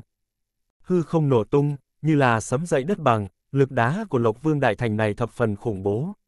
Sư Vương Đại Thành cực hạn trên chán bỗng mở ra con mắt thứ ba, liếc liền nhìn ra quý tích của Lộc Vương Đại Thành, đơn giản né qua, sau đó, miệng lớn dính máu như núi cắn lấy trên cổ Lộc Vương, trong chốc lát, máu tươi đầm đìa. Lộc Vương Đại Thành cổ cơ hồ bị Sư Vương Đại Thành cực hạn cắn đứt, lập tức bị cắn chết. Toàn bộ quá trình, đều bị huyền thiên nguyên thần ngự kiếm xem vào trong mắt, tranh đấu giữa yêu thú là luật rừng. Mỗi ngày đều diễn ra, huyền thiên không có hứng thú đi quản, hắn đang chờ cơ hội tốt nhất để ra tay, nhất kích tất sát con sư vương đại thành cực hạn này. Vừa rồi đầu tam nhãn viêm sư này vẫn một mực cảnh giác, huyền thiên không ra tay, thẳng đến khi Lộc vương kia tắt thở, tam nhãn viêm sư vương lập tức thư giãn xuống, chuẩn bị hưởng thụ mỹ vị. Xíu, yêu yêu, gạch nối gạch nối chấm than, ngay trong nháy mắt này, bỗng một đạo kiếm quang sáng chói từ bên ngoài hơn nghìn thước bắn tới. Khoảng cách hơn nghìn thước, trong nửa cái nháy mắt, linh kiếm hoàng cấp đã bổ ra rồi, kiếm quang lập tức chém qua cổ tam nhãn viêm sư vương kia, linh kiếm hoàng cấp vây quanh vòng cổ cực lớn vài vòng, máu tươi mãnh liệt như giang hà vỡ đê vọt ra, đầu sư tử cực lớn đều bị một kiếm này bổ xuống, thời cơ ra tay vừa đúng, trong nháy mắt liền nhất kích tất sát sư vương đại thành cực hạn, linh kiếm hoàng cấp lần nữa lóe lên. Bổ ra kiếm quang, chém đầu sư tử thành hai khúc, hỗn độn nguyên thần hiển hiện trên thân linh kiếm, thò tay một chảo, liền bắt lấy yêu hạch thu vào trong không gian giới chỉ, lại gặt hái được một khỏa, giống. Huyền Thiên vừa mới nhận lấy yêu hạch, bỗng một tiếng gầm rú rung trời động địa chợt từ trong sơn mạch càng sâu hơn truyền ra, ngay sau đó đại địa chấn động, phanh. Một ngọn núi cách huyền thiên hơn 10 dặm lập tức hóa thành nát bấy, một đầu tam nhãn viêm sư, toàn thân bốc đầy hỏa diễm hừng hực lao đến, thân thể đầu tam nhãn viêm sư này thoạt nhìn không lớn. Cao chỉ hơn 20 mét, dài 50 đến 60 mét, ngọn núi kia như làm bằng bùn vậy, bị đầu tam nhãn viêm sư kia đập vỡ thành nát bấy, trong con mắt thứ ba của tam nhãn viêm sư chợt nhanh chóng ra một nhúm hào quang chiếu tới linh kiếm hoàng cấp, đồng thời, tam nhãn viêm sư tung người, thân thể lăng không nhảy lên, lập tức nhảy ra ba bốn ngàn mét, hỗn độn nguyên thần chứng kiến đầu tam nhãn viêm sư kia, huyền thiên liền cảm nhận được một cổ uy áp cực lớn, thứ đó ở trên người yêu vương đỉnh tiêm cực hẳn cũng chưa từng cảm nhận được, con mắt thứ ba bắn ra hào quang có thể thấy được. Huyền Thiên càng không gặp ở trên người những con tam nhãn viêm sư khác, đầu tam nhãn viêm sư còn cường đại hơn cả yêu vương đỉnh tiêm cực hạn, trong lòng Huyền Thiên dùng mình, đây là một đầu chuẩn yêu hoàng. Chuẩn hoàng, thân thể vẫn là tam giai cực hạn, nhưng lĩnh ngộ áo nghĩa lại đạt đến cảnh giới tứ giai. Yêu thú thân cận thiên nhiên, lĩnh ngộ áo nghĩa phi thường tinh thâm, áo nghĩa cảnh giới tứ giai, lực lượng thập phần đáng sợ, xíu. Yêu yêu, gạch nối gạch nối chấm than, linh kiếm hoàng cấp lập tức hóa thành một đạo quang mang, lập tức bỏ chạy. Huyền Thiên cũng không có ý định đại chiến một hồi với một vị chuẩn yêu hoàng, tuy rằng nguyên thần của hắn ở trong linh kiếm hoàng cấp, chuẩn yêu hoàng cũng chưa chắc có thể làm hắn bị thương. Trong lúc cực tốc phi hành, Huyền Thiên muốn phá toái hư không thuấn di, lại phát hiện hư không bị giam cầm, với cảnh giới của đầu tam nhãn viêm sư chuẩn yêu hoàng này, phạm vi giam cầm hư không thập phần rộng lớn, người cách nó gần 10 dặm đều không thuấn di được, tốc độ nguyên thần ngự kiếm rất nhanh. Không thuấn di, trong nháy mắt cũng gần 3.000 mét. Nhưng chuẩn yêu hoàng ở đằng sau, tốc độ còn nhanh hơn, một cái tung mình đã là hơn 3.000 mét, đuổi theo huyền thiên, hơn nữa phát ra tiếng giống rung trời động địa. Thanh âm thập phần phẫn nộ, giết chóc đêm qua đã có tam nhãn viêm sư hồi báo cho đầu chuẩn yêu hoàng này, với tư cách là đứng đầu yêu trong trong sơn mạch sư lính, đầu chuẩn yêu hoàng này thập phần phẫn nộ. Hôm nay khi huyền thiên đang siêu tầm tam nhãn viêm sư, đầu chuẩn yêu hoàng này cũng đang đi tìm hắn. Hiện giờ cuối cùng cũng chạm mặt. Thấy chuẩn yêu hoàng ở đằng sau càng đuổi càng gần, huyền thiên lập tức khống chế linh kiếm hoàng cấp đâm vào lòng đất, lập tức biến mất không thấy gì nữa, giống. Chuẩn yêu hoàng thấy bảo kiếm chui vào lòng đất, bỗng giống to một tiếng, vô số đảo gợn sóng màu vàng đất chợt từ trong miệng hắn vọt ra, cũng xông vào dưới, mặt đất lập tức theo gợn sóng màu vàng đất kia nhấc lên một cổ gợn sóng, huyền thiên hành tẩu trong lòng đất, bỗng nhiên cảm giác được một cổ lực lượng khổng lồ như sóng biển vọt tới, đại địa bỗng cứng đờ. Hắn chấn động, trong sóng xung kích cực lớn kia ẩn chứa thổ áo nghĩa chi lực tứ giai. Tứ giai áo nghĩa đã là áo nghĩa trung giai, thuộc về lực lượng hoàng giả, uy lực mạnh mẽ vượt qua xa vương giả có khả năng ngăn cản, linh kiếm hoàng cấp trong lòng đất bị sông đến quay cuồng. Trong lúc nhất thời khó phân đông nam tây bắc, huyền thiên lập tức khống chế linh kiếm hoàng cấp, trùng thiên trên xuống, đúng lúc này cũng chỉ có cao thấp là hắn còn phân được, đại địa tuy rằng trở thành cứng ngắc, nhưng linh kiếm hoàng cấp quá mức sắc bén, vẫn lập tức lao ra vài trăm mét, vọt ra, bà tương đương. Nghênh đón hắn là một móng vuốt cực lớn, linh kiếm hoàng cấp bị đập bay mấy ngàn thước, hỗn độn nguyên thần ở trong linh kiếm hoàng cấp cảm giác được một cổ lực chấn kích khủng bố như trời long đất nở, ngoài vạn dặm. Chân thân huyền thiên bỗng chấn động, phun ra một ngụm máu tươi. Chuẩn yêu hoàng quả thật khó có thể hủy hoại linh kiếm hoàng cấp, trực tiếp xúc phạm tới hỗn độn nguyên thần bên trong linh kiếm, nhưng lực công kích của nó quá cường đại, nguyên thần và thân thể huyền thiên ly khai lại xa, đó là tồn tại cùng một thể, một khi lực trùng kích đến mức nguyên thần không chịu nổi thì sẽ gặp chuyển rời đến chân thân, tạo thành phá hư đối với thân thể. Lực công kích của yêu vương đỉnh tiêm cực hạn, hỗn độn nguyên thần của huyền thiên ở trong linh kiếm hoàng cấp còn chịu đựng được. Nhưng lực công kích của chuẩn yêu hoàng so với yêu vương đỉnh tiêm cực hạn lại cao gấp mấy lần, khó mà chịu nổi, nguyên lai chuẩn hoàng đáng sợ như vậy.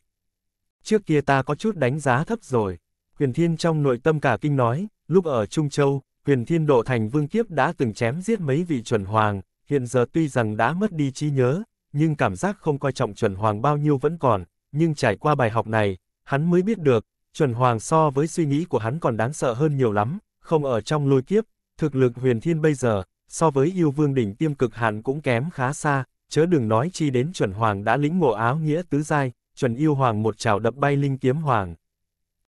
Thấy linh kiếm chỉ bay đi mấy ngàn thước, trong ánh mắt lộ ra một tia kinh ngạc, nó cũng không hiểu linh kiếm này vì sao lại như vậy, linh kiếm là bị ý niệm của võ giả khống chế, đã đến ngoài vương giả, là do vũ hồn khống chế linh kiếm, nhưng nó vừa đánh một phát, lực công kích khủng bố đủ để đán tan võ hồn tam giai cực hạn, nhưng linh kiếm hoàng cấp chỉ quay cuồng vài cái, vẫn sinh long hoạt hổ, tiếp tục cấp tốc phi hành, hỗn độn nguyên thần của huyền thiên cường độ có thể vượt qua xa võ hồn có thể so sánh. Thân thể bị chấn chết rồi, hỗn độn nguyên thần cũng không làm sao. Chuẩn yêu hoàng thấy linh kiếm chạy trốn, lần nữa lóe lên nhào tới, lúc này không phải đập, mà là trực tiếp dùng chảo chộp tới, chảo của nó còn chắc chắn hơn cả bảo khí vương cấp đỉnh tiêm, có khả năng so với bảo khí hoàng cấp, cho dù là linh kiếm hoàng cấp cũng không làm bị thương được. Nếu thân thể chuẩn yêu hoàng, huyền thiên tin tưởng linh kiếm hoàng cấp định có thể đâm thủng, nhưng cái chảo chắc chắn này lại khó có thể hủy hoại, mắt thấy một chảo kia chộp tới. Khoảng cách gần vài thước, đã hiện lên chảo đầu tiên, khó hiện lên chảo thứ hai, huyền thiên lập tức làm ra phản kích. Siêu, siêu, siêu, siêu, siêu, siêu, siêu, siêu, xíu, yêu yêu. Trong lúc đó, chín đạo ánh sáng kim sắc từ trong linh kiếm hoàng cấp nổ bắn ra mà ra, là chín đạo bất diệt kiếm khí, đồng thời bổ ra, theo chín góc độ bất đồng chém về phía thân thể chuẩn yêu hoàng. Lực công kích của bất diệt kiếm khí thập phần đáng sợ. Nhìn như từng đạo sợi tơ màu vàng tinh tế cắt nát không gian thành từng mảnh nhỏ. Chuẩn yêu hoàng trong ánh mắt lộ ra vẻ kinh ngạc, với tư cách yêu thú, bản năng của nó cảm ứng hết sức chính xác, kiếm khí màu vàng tinh tế này có thể tạo thành tổn thương đối với nó, trong nháy mắt. Chuẩn yêu hoàng liền thu móng vuốt chụp vào linh kiếm hoàng cấp trở về, quét tới chín đạo bất diệt kiếm khí, móng vuốt của nó vô cùng sắc bén cứng rắn, ngay cả linh kiếm hoàng cấp còn không sợ, tự nhiên cũng không sợ công kích của bất diệt kiếm khí rồi. Chợt, chín tiếng vang liên tục vang lên, chín đạo bất diệt kiếm khí đều bị chuẩn yêu hoàng ngăn cản, tốc độ linh kiếm hoàng cấp phóng tới không giảm, nháy mắt liền bay ra ngoài gần 3.000 mét, lại nháy mắt, đã đạt hơn 5.000 huyền thiên ý niệm khẽ động, lập tức thu bất diệt kiếm khí về, một đảo, hai đảo, tổng cộng thu hồi 6 đảo. Huyền thiên đột nhiên cả kinh, chín đảo bất diệt kiếm khí, chỉ thu hồi được 6 đảo, còn có 3 đảo bất diệt kiếm khí, lại bị móng vuốt sắc bén của chuẩn yêu hoàng trực tiếp bắt lấy. Tuy rằng bất diệt kiếm khí vô cùng sắc bén, hơn nữa lực công kích một mực tồn tại, nhưng bị móng vuốt sắc bén của chuẩn yêu hoàng bắt lấy, vẫn không thể động đậy, huyền thiên không thể thu về được chín đạo bất diệt kiếm khí, là một trong những đại sát chiêu của huyền thiên, mất đi ba đạo bất diệt kiếm khí. Đại sát chiêu này quả thực đã mất đi một phần ba uy lực. Bất quá, huyền thiên cũng không dám dừng lại, tốc độ như bay, nháy mắt đã phi hành ra ngoài năm 2000 đến 3000 mơ chuẩn yêu hoàng đối với linh kiếm hoàng cấp theo đuổi không bỏ. Nó là yêu thú bá chủ của Sơn Mạch Sư Lính, đứng đầu yêu tộc, đối với linh kiếm hoàng cấp đã giết không ít yêu vương này nhất định phải lưu lại. Chỉ là, ba đạo bất diệt kiếm khí một mực dẫy dụa trong trào của chuẩn yêu hoàng, khiến cho chuẩn yêu hoàng phải một mực chấn áp, phân ra không ít yêu lực. Bởi như vậy, khí tức của chuẩn yêu hoàng giảm bớt rất nhiều, tốc độ đuổi theo cũng chậm đi một chút. Bất quá, tốc độ của chuẩn yêu hoàng so với tốc độ phi hành của linh kiếm hoàng cấp vẫn không chậm, hơn nữa, phạm vi nó giam cầm hư không cũng không thu nhỏ lại, chỉ là khí tức lộ ra yếu bớt, nhìn qua giống như là yêu thú đỉnh tiêm đỉnh phong vậy, xem ra ba đạo bất diệt kiếm khí kia bị nó chộp tới, đối với ta cũng không phải không có lợi, tốc độ của nó biến chậm, tương đương với tốc độ phi hành của linh kiếm, không thể đuổi kịp ta được. Huyền Thiên thầm nghĩ, một đạo kiếm quang cấp tốc phi hành trong. Sơn mạch sư lĩnh, đằng sau đuổi theo là một đầu tam nhãn viêm sư, như ảnh tùy hình, nháy mắt liền bay ra gần 3.000 mét, không ngừng đi về hướng đông. Thấy chuẩn yêu hoàng theo đuổi không bỏ, huyền thiên lập tức chuyển biến phương hướng, bay về phía phía đông nam, hắn cũng không muốn dẫn đầu chuẩn yêu hoàng này đến bên cạnh nhục thể của hắn, nếu nó đã đuổi theo không bỏ, huyền thiên định trực tiếp ngự kiếm bay ra sơn mạch sư lính, đợi khi thoát khỏi chuẩn yêu hoàng rồi sẽ trở về. Bất quá, hắn mới vừa chuyển hướng về phía đông nam, bay vẫn chưa tới ngàn dặm thì thân thể liền truyền đến cảm ứng, thậm chí có đại lượng vương giả nhân loại đi vào sâu trong sơn mạch sư lĩnh. Cách hắn thân thể không xa, hơn 10 vị vương giả tản ra khí tức mãnh liệt, huyền thiên ẩn nấp trong sơn động cảm ứng rất rõ, khí tức vương giả thập phần cường đại, trong đó có vương giả đỉnh tiêm, thậm chí là vương giả đỉnh tiêm cực hạn. Sâu trong sơn mạch sư lĩnh là cấm khu của nhân loại, có rất ít nhân loại đến đây, nhất là đông đảo vương giả như vậy đến đây, càng quá mức kỳ quái. Chẳng lẽ là muốn đánh Sơn Mạch Sư Lĩnh? Điều đó không có khả năng, yêu tộc trong Sơn Mạch Sư Lĩnh thực lực phi thường cường đại. Không chỉ có có chuẩn yêu hoàng tọa chấn, số lượng các loài yêu vương hơn xa thế lực vương phẩm đinh tiêm của nhân loại, toàn bộ vương giả của chính đạo, hoặc là tà phái liên minh cộng lại, chỉ sợ mới có thể so sánh với lượng yêu vương trong Sơn Mạch Sư Lĩnh, cho nên, mười mấy tên vương giả đánh Sơn Mạch Sư Lĩnh là chuyện không thể nào, dù có vương giả đỉnh tiêm cực hạn dẫn đội, cũng là hành vi thiêu thân lao đầu vào lửa. Cho nên, đại lượng vương giả xuất hiện ở sâu trong Sơn Mạch Sư Lĩnh, khẳng định có nguyên nhân đặc thù. Ban ngày, huyền thiên vốn đang tu luyện, hiện tại hắn hoàn toàn ẩn nấp khí tức, tiểu hổ vốn yên tĩnh ngốc trong sơn động giờ phút này cũng nhảy lên bả vai huyền thiên, nó cũng cảm nhận được đại lượng vương giả nhân loại đến, huyền thiên sờ lên đầu tiểu hổ để nó yên tĩnh, nơi này có dấu vết hắn từng đến. Trong rừng câu bên ngoài sơn động, truyền đến thanh âm của vương giả nhân loại, huyền thiên trong nội tâm khẽ giật mình, những những người này đang tìm hắn. Tuy rằng hắn xóa đi dấu vết cửa sơn động rồi, hơn nữa che giấu phi thường tốt. Nhưng những rừng cây hắn từng đến có chút dấu vết nhỏ vẫn tồn tại, phụ cận có yêu vương tử vong, hắn khả năng ngay ở ngay trong phạm vi vài trăm dặm phụ cận, hắc hắc. Nếu là chúng ta tìm được hắn trước người của âm La Tông, giáo chủ nhất định sẽ trọng thưởng, vậy cũng không chắc. Giáo chủ và âm La Tông chủ có ước định, bên nào chém giết hắn trước thì thần binh hoàng cấp thuộc về bên đó, thần binh hoàng cấp AH. Ám Nguyệt giáo nếu lấy được, thực lực sẽ tăng lên rất lớn, ân. Cẩn thận tìm tòi dấu vết thiên thần từng đến, nhất định phải tìm được hắn trước âm La Tông một bước. Chấm than, cây cối bên ngoài, truyền đến tiếng nói chuyện của hai vương giả ám nguyệt giáo. Âm La Tông, tiến vào sơn mạch sư lính, không ngờ lại là tìm ta. Muốn chém giết ta cướp đi của bảo kiếm hoàng cấp của ta sao? Trong sơn động, huyền thiên nghe vậy, trong nội tâm lạnh lẽo. Bên ngoài mấy ngàn dặm, linh kiếm hoàng cấp lập tức chuyển biến phương hướng, bay về phía vị trí thân thể huyền thiên, chuẩn yêu hoàng cầm lấy ba đạo bất diệt kiếm khí đuổi theo sát phía sau, các người muốn hại ta, ta cũng sẽ không khách khí với các người nữa. Huyền Thiên thầm nghĩ, dấu vết Huyền Thiên lưu lại trong rừng cây không phải chỉ dấu vết trên mặt đất, mà là chỉ dấu vết trong hư không. Vương giả tinh thông truy tung có thể phát hiện biến hóa trong không khí, từ đó phán đoán hướng đi của một vị vương giả, nếu không, vương giả có thể phi hành trên không trung, hơn nữa thuấn di mà đi, căn bản không chạm đất chút nào cả, dựa vào dấu vết trên mặt đất tìm kiếm tung tích vương giả, tuyệt đối không thể nào. Huyền Thiên xóa đi tất cả dấu vết phạm vi trăm mét quanh sơn động cho nên, ám nguyệt giáo tuy có vương giả tìm được rừng cây, nhưng vẫn không thể tìm đến sơn động được, không lâu sau, có thanh âm phá toái hư không tới. Lại có vương giả đến rừng cây bên ngoài, ở đây ám nguyệt giáo chúng ta đang tìm, âm la tông các ngươi chạy tới làm gì? Chúng ta không phải đã nói rõ là tách ra tìm rồi sao? Tiếng nói lúc trước vang lên, hừ. Chúng ta cũng truy xét dấu vết thiên thần lưu lại trong hư không, theo lộ tuyến thì hắn có lẽ đã tới trong rừng cây này. Một thanh âm mới vang lên, huyền thiên nhận ra thanh âm này, là âm vạn la. Luận truy tung chi thuật, vẫn là âm la tông chúng ta tinh thông sâu hơn một chút, ân. Tại đây quả nhiên có dấu vết hắn hắn xuất hiện qua, y. Dấu vết đến đây đã không còn nữa, thanh âm âm vạn la từ xa đến gần, đã đến trăm mét bên ngoài sơn động. Trăm mét đối với vương giả mà nói, cơ hồ là đã gần người, huyền thiên nghe được thanh âm của âm vạn la giống như là vang lên từ bên cạnh vậy. Qua một lúc lâu, thanh âm âm vạn la tiếp tục vang lên, dấu vết trong hư không đột nhiên gián đoạn, nhất định là có người cố ý xóa đi, hắc hắc. Sâu trong vùng núi này chỉ có mình thiên thần, cho dù có người khác, cũng sẽ không xóa đi dấu vết cho hắn, hắn cố ý xóa đi dấu vết, xem ra là không muốn bị người tra ra ở nơi nào, có lẽ, hắn ở ngay ở phụ cận rồi. Xíu, yêu yêu, phanh, bỗng nhiên, một giọng nói phóng lên trời, sau đó một tiếng nổ vang, âm vạn la thả ra một cái đạn tín hiệu, hắc hắc hắc hắc. Âm la tông ta có trưởng lão tinh thông truy tung, không có thứ gì có thể bị chính thức xóa đi, xóa đi một dấu vết cũ, tất có dấu vết mới xuất hiện, thiên thần. Đào ba thước đất, cũng phải tìm ra ngươi, chém giết ngươi trước khi ngươi phát triển để chấm dứt hậu hoạn. Theo đạn tín hiệu vang lên, từng đạo thanh âm vạch phá bầu trời, đến ra đến bên ngoài trong rừng cây. Thấy người âm La Tông đã đến, vương giả ám nguyệt giáo cũng không cam chịu yếu thế, thả ra đàn tín hiệu, rất nhanh, tất cả vương giả của âm La Tông, ám nguyệt giáo đều đã đến trong rừng cây, dùng âm liên tinh và mặc vô bạch cầm đầu, hơn 10 vị vương giả phân ra hai phạm vi đứng thẳng, âm liên tinh.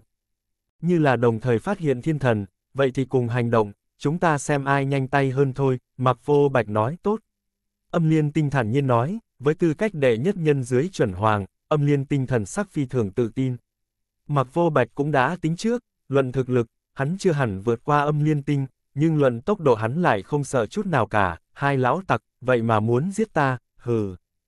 Tặng cho các ngươi một đầu chuẩn yêu hoàng, cho các ngươi vui vẻ a. Huyền Thiên trong nội tâm lạnh nhạt nói, âm La Tông có trưởng lão tinh thông truy tung đi về trước, cẩn thận quan sát dấu vết trong hư không, đi đến sơn động bí mật phía trên bên trái ngoài trăm mét, truy tung chi thuật của người này phi thường lợi hại, vậy mà thật sự tìm ra dấu vết biến mất của Huyền Thiên, rất nhanh, liền đi tới trước sơn động bí mật. Đây là một vị vương giả đại thành cực hạn, hắn nghi hoặc nhìn bụi cỏ, nhánh cây phía trước, chỉ vào phía Huyền Thiên nói, dấu vết tỏ vẻ, thiên thần tiến nhập vào trong lòng núi. Xíu, yêu yêu, gạch nối gạch nối gạch nối gạch nối chấm than. Hắn vừa dứt lời, bỗng có một đạo kiếm quang từ trên sườn núi cao trăm mét bắn ra, là linh kiếm hoàng cấp, đâm thủng ngọn núi mà đến, ánh mắt mọi người đều bị cái thanh linh kiếm hoàng cấp này hấp dẫn, thần sắc đại chấn, kinh hô lên, linh kiếm hoàng cấp.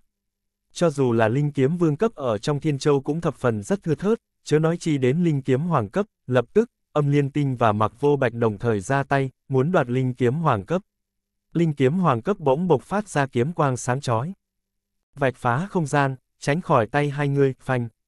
Ngay một khắc này, ngọn núi chợt nổ tung, đại địa đều phải chấn động, một đầu tam nhãn viêm sư vọt ra từ trong núi đá nghiền nát, nháy mắt sau đó, tam nhãn viêm sư thấy được phía trước hơn 10 vị vương giả, trong ánh mắt lập tức toát ra lửa giận ngập trời, tam nhãn viêm sư vẫn cho rằng linh kiếm là do vương giả nhân loại ngự không mà đi, đúng là tìm không thấy vương giả nhân loại ở nơi nào, bây giờ thấy nhiều người như vậy, lửa giận lập tức từ trên linh kiếm hoàng cấp chuyển đến những vương giả này, cách ngọn núi gần nhất chính. Là vì vương giả đại thành cực hạn giỏi về truy tung kia của âm La Tông. Tam nhãn viêm sư tung người một cái đánh tới vương giả đại thành cực hạn này, giờ phút này, chuẩn yêu hoàng này bởi vì chấn áp trào ba đạo bất diệt kiếm khí trong lợi trào nên, khí tức thoạt nhìn chỉ tương đương với vương giả đỉnh tiêm đỉnh phong, có âm liên tinh và ám nguyệt giáo chủ, vương giả ở đây cũng không để đầu tam nhãn viêm sư này vào mắt, yêu nghiệt. Lập tức có không ít vương giả hét lớn một tiếng, đánh về phía tam nhãn viêm sư cấp chuẩn yêu hoàng kia, đối mặt với công kích của chúng vương giả. Chuẩn yêu hoàng bỗng giống to một tiếng, từng đạo gợn sóng màu vàng đất từ trong miệng nó tán phát ra, trong sóng âm ẩn chứa lực lượng thổ áo nghĩa tứ giai, chấn cho tất cả công kích của vương giả trở thành nát bấy. Mà vương giả dưới đại thành cực hạn thì bị sóng ấm chấn một cái, đồng đồng đồng lui về phía sau, lực lượng kinh khủng kia suýt chút nữa đã áp bọn hắn xuống đất rồi, công kích của chuẩn yêu hoàng quá cường đại, không ai có thể ngăn trở, thời gian nửa cái nháy má đã tới, liền vọt tới bên cạnh vương giả đại thành cực hạn kia, còn trên không trung. Thân thể chuẩn yêu hoàng lại đột nhiên tăng lên một vòng, miệng rộng như bồn máu mở ra, vừa mới rơi xuống đất, vương giả đại thành cực hạn liền bị chuẩn yêu hoàng đớp vào miệng, chỉ trong nháy mắt, chỉ thấy miệng chuẩn yêu hoàng nhai nhai nhai, máu tươi chảy ra từ khóe miệng nó, ngay sau đó cổ của nó duỗi ra, trực tiếp nuốt tên vương giả đại thành cực hạn kia vào bụng. Một giống đánh tan công kích của tất cả vương giả ăn một miếng mất một vị vương giả đại thành cực hạn. Tất cả vương giả nhìn đầu tam nhãn viêm sư này trong mắt lộ vẻ hoàng sợ. Đây nào có phải yêu thú yêu vương đỉnh tiêm đỉnh phong gì đâu. So với yêu thú đỉnh tiêm cực hạn còn đáng sợ hơn nhiều lắm. Đây là một đầu chuẩn yêu hoàng. Tuy rằng vương giả vừa mới ra tay không kể hai vị vương giả đinh tiêm cực hạn là âm liên tinh và mặc vô bạch, nhưng có vương giả đỉnh tiêm đỉnh phong ra tay, đều bị đầu tam nhãn viêm sư kia giống phá một tiếng, không phải chuẩn yêu hoàng thì là cái gì, chạy mau. Là chuẩn yêu hoàng, trời đất ơi, là một đầu chuẩn yêu hoàng, chạy mau, chuẩn yêu hoàng a hát. Trong nháy mắt, vô luận là vương giả âm la tông hay vương giả ám nguyệt giáo đều hoảng sợ giống to lên, chuẩn hoàng, đại biểu cho thực lực cực hạn của thiên châu. Một đầu chuẩn yêu hoàng, cho dù là tất cả mọi người ở đây liên thủ, cũng không phải là đối thủ, tình huống trước mắt chỉ có một chữ trốn. Có thể trốn bao nhiêu hay bấy nhiêu. Tất cả vương giả thậm chí muốn thuấn di mà trốn, nhưng hư không lại bị giam cầm, không cách nào thuấn di, nguyên một đám như chấn kinh, tản loạn về bốn phía. Tam nhãn viêm sư chuẩn yêu hoàng lần nữa giống to một tiếng, chấn khiến tất cả vương giả trên không trung đều lung lay sắp đổ, tốc độ phi hành đại giảm, mà thân thể chuẩn yêu hoàng lại bỗng biến lớn, trong chốc lát biến thành dài hơn 700 mét, như một sơn mạch vậy, cự trảo khủng bố quét qua, lập tức có hai vương giả bị quét trúng, trực tiếp bị đập thành nát bấy. Phanh, hư không nổ vang, cái đuôi dài đến 200 mét kia quét ngang tới, không khí nổ tung, một tòa núi nhỏ bị quất thành nát bấy, lại có hai tên vương giả bị quét trúng, linh khu lập tức chia năm xẻ bảy, đi đời nhà ma. Thực lực của chuẩn yêu hoàng này quá mạnh mẽ, tùy tiện một kích, đối với vương giả đỉnh tiêm trở xuống đều là tổn thương chí mạng cả. Hư không bị giam cầm, sóng âm chuẩn yêu hoàng giống ra khiến tốc độ phi hành của chúng vương giả đại giảm, trong nháy mắt mới có thể bay ra vài trăm mét, đối với thân thể khổng lồ của chuẩn yêu hoàng mà nói. Hơn một nghìn mét chỉ cần một trào một đuôi đánh tới là được, diệt sát bốn vị vương giả, chuẩn yêu hoàng tung thân thể lên, lập tức lao ra gần ba nghìn mét, chảo đảo qua trên không trung, hai vương giả còn phi hành trên không trung lập tức bị chộp thành mảnh vỡ. Chuyện này đột nhiên phát sinh quá đột ngột, vượt quá dự kiến của âm La Tông và Ám Nguyệt Giáo. Âm Liên Tinh và Mạc Vô Bạch đang truy đuổi linh kiếm hoàng cấp lập tức thu tay lại, trong mắt chấn động, liếc nhau, hai người đồng thời bay về phía chuẩn yêu hoàng, hét lớn một tiếng. Nhanh chóng rời khỏi sơn mạch sư lĩnh. Ở đây có thể chiến một trận với chuẩn yêu hoàng chỉ có hai vương giả đỉnh tiêm cực hạn bọn hắn, tuy rằng thực lực không cường đại bằng chuẩn yêu hoàng, nhưng chống lại một hồi vẫn được. Không có công kích của âm liên tinh và mạc vô bạch kích, linh kiếm hoàng cấp lập tức đi xa, nháy mắt 2.000 đến 3.000 mét, rất nhanh liền biến mất sau lưng một ngọn núi, một lát, linh kiếm hoàng cấp liền triệt để thoát khỏi khu vực giam cầm không gian của chuẩn yêu hoàng, thuấn di một cái biến mất không thấy gì nữa, linh kiếm hoàng cấp ở phía xa quấn một vòng. Sau đó, xuất hiện trong rừng rậm trên một ngọn núi cách chân thân về phía tây ngoài ngàn thước, hỗn độn nguyên thần quan sát chiến đấu ở xa xa, âm liên tinh và mặc vô bạch thực lực quả nhiên cường đại, mặc dù vừa chiến liền lùi lại, nhưng chuẩn yêu hoàng trong lúc nhất thời cũng khó có thể làm gì được hai người, rất nhanh, vương giả của âm La Tông và ám nguyệt giáo liền xa xa rời khỏi khu vực gia cầm hư không của chuẩn yêu hoàng, thuấn di bỏ chạy ra khỏi sơn mạch sư lĩnh, biến mất không còn thấy bóng dáng tăm hơi, đợi tất cả vương giả triệt để ly khai. Âm liên tinh và mặc vô bạch mới thu tay lại lui lại, chuẩn yêu hoàng nào để cho hai người đào tẩu, một đường đuổi giết theo.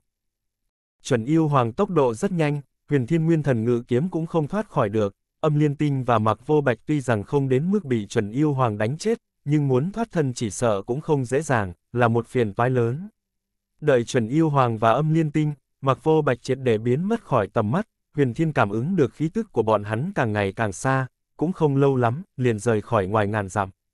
Phanh, dưới ngọn núi bị chuẩn yêu hoàng phá tan bỗng đất đá bay tứ tung. Huyền thiên vọt ra ngoài, đầu vai của hắn, có một tiểu hổ dài bằng bàn tay đang ngồi chống trệ trên đó, đồng thời, linh kiếm hoàng cấp trong rừng rậm xa xa cũng xíu. Yêu yêu, một tiếng, bay tới, trực tiếp nhập vào trong cơ thể huyền thiên.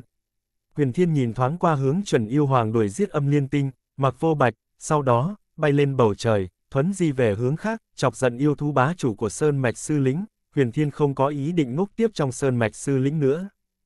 Tuy rằng yêu hạch của tam nhãn viêm sư còn thiếu một chút, muốn tu luyện địa nhãn thần đồng tới viên mãn phải phi thêm hơn 10 này, nhưng so với uy hiếp của chuẩn yêu hoàng thì huyền thiên tình nguyện ở nơi an toàn tu luyện thêm 10 ngày còn hơn, huyền thiên thuấn di mà đi, tốc độ cực nhanh, cũng không lâu lắm, liền rời khỏi sơn mạch sư lĩnh, thiên thần huynh xin dừng bước.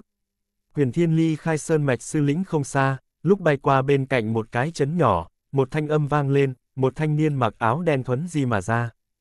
Chắn trước người huyền thiên, thanh niên mặc áo đen kia có tu vị vương giả đại thành đỉnh phong, nhìn qua ước chừng 20 tuổi, trước đó không lâu, huyền thiên còn nghe được thanh âm của hắn, là âm vạn la. Vương giả của âm la tông, ám nguyệt giáo bị chuẩn yêu hoàng đánh chết nhiều người, người còn lại phân tán trốn ra khắp sơn mạch sư lĩnh, huyền thiên ly khai sơn mạch sư lĩnh tránh được phương hướng chuẩn yêu hoàng truy kích âm liên tinh, mặc vô bạch, nhưng không ngờ cùng âm vạn la chạm mặt rồi, âm vạn la đứng ở trên không phía trước huyền thiên. Trên mặt bảo chỉ mỉm cười, nói, không ngờ lại ở chỗ này gặp được thiên thần huynh, thật sự là duyên phận không cạn, ha ha. Hậu bối của chính đạo liên minh, kiếm nhân hào tuy rằng xuất chúng nhưng làm người quá kiêu ngạo, người còn lại đều bình thường, chỉ có thiên thần huynh là khiến âm mỗ cảm thấy khâm phục, hôm nay gặp lại tức là hữu duyên, thiên thần huynh, chúng ta uống một chén được không? Huyền thiên cảm ứng được, trong tiểu trấn còn có khí tức của vương giả khác, không hề yếu hơn âm vạn la, có vương giả ly khai thị trấn nhỏ, thuấn di ly khai cút huyền thiên nhìn âm vạn la, nhàn nhạt nói một chữ, nếu không phải hắn đã được biết âm la tông và ám nguyệt giáo đang tìm hắn.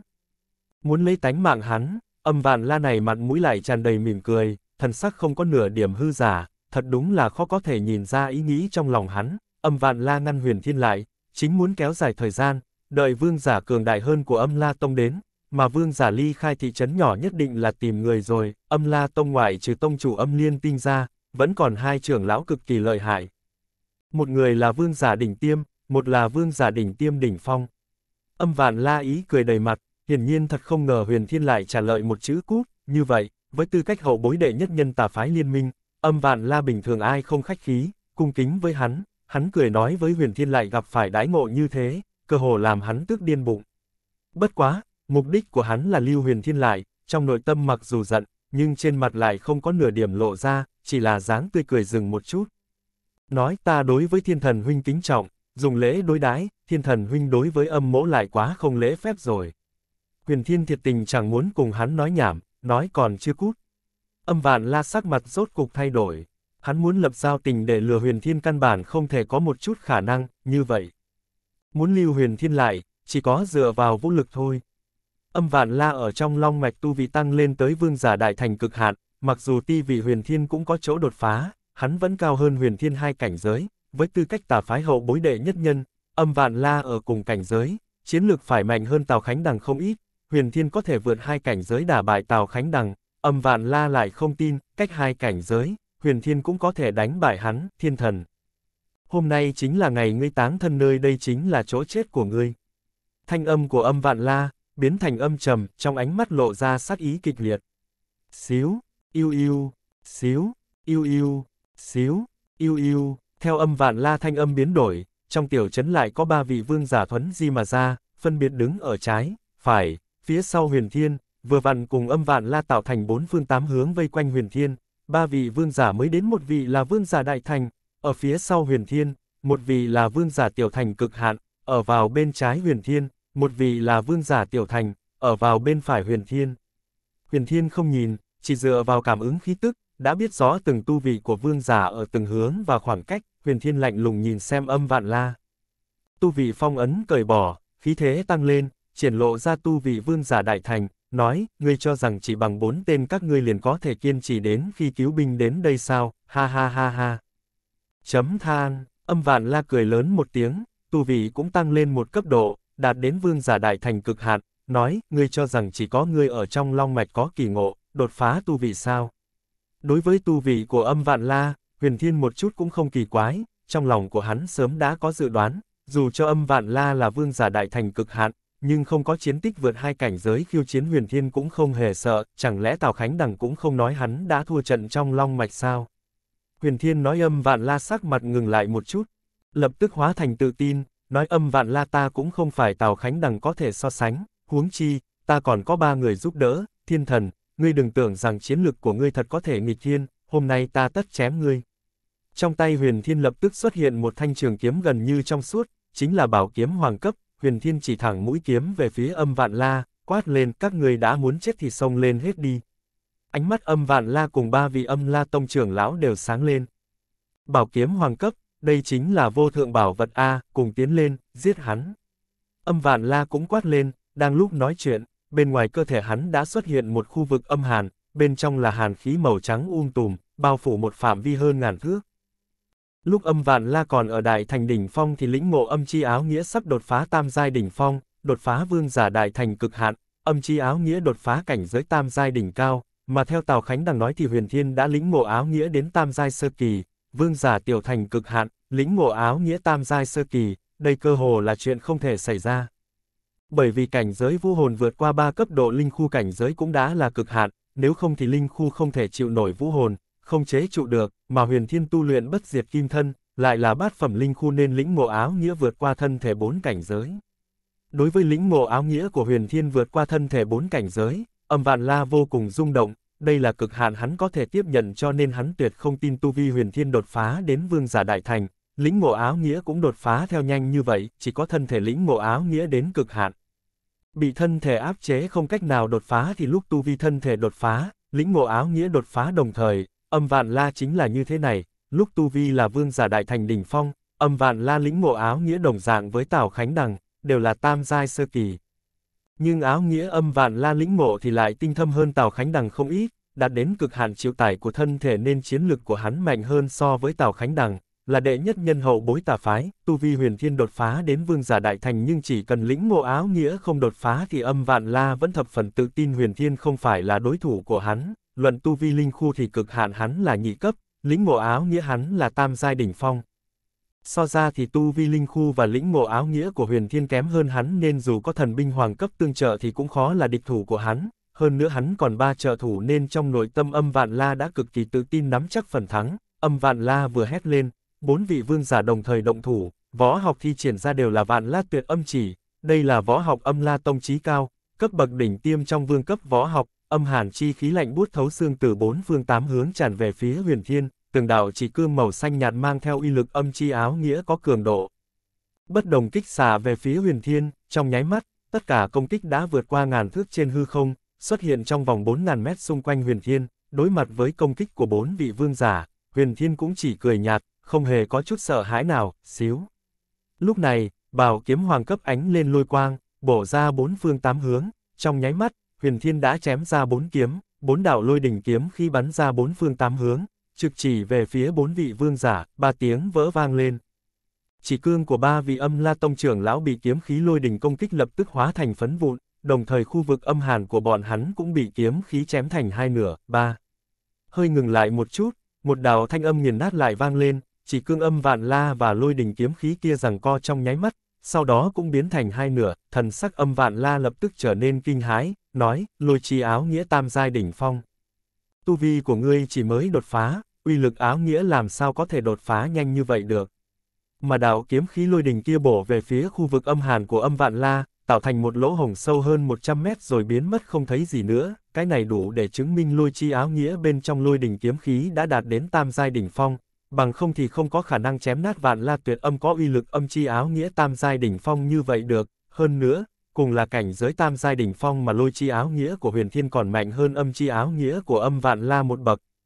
Khí thế lôi đỉnh kiếm khí mang theo tinh hoa lôi chi áo nghĩa ngưng tụ thành, so với lực lượng áo nghĩa khác cùng cảnh giới thì còn cao hơn một đoạn, mà lôi đỉnh kiếm khí bổ về phía ba vị vương giả âm la tông thì quả thực là không kiêng kỵ gì cả, một đường thẳng tiến, không chỉ chém chỉ cương của ba người nát bấy mà trong nháy mắt còn vạch phá khu vực âm hàn của bọn hắn, trực tiếp chém tới trước mặt, một tiếng hét thảm vang lên, vị vương giả có thực lực yếu nhất bị lôi đỉnh kiếm khí phá vỡ công kích, phòng ngự nhanh chóng sụp đổ.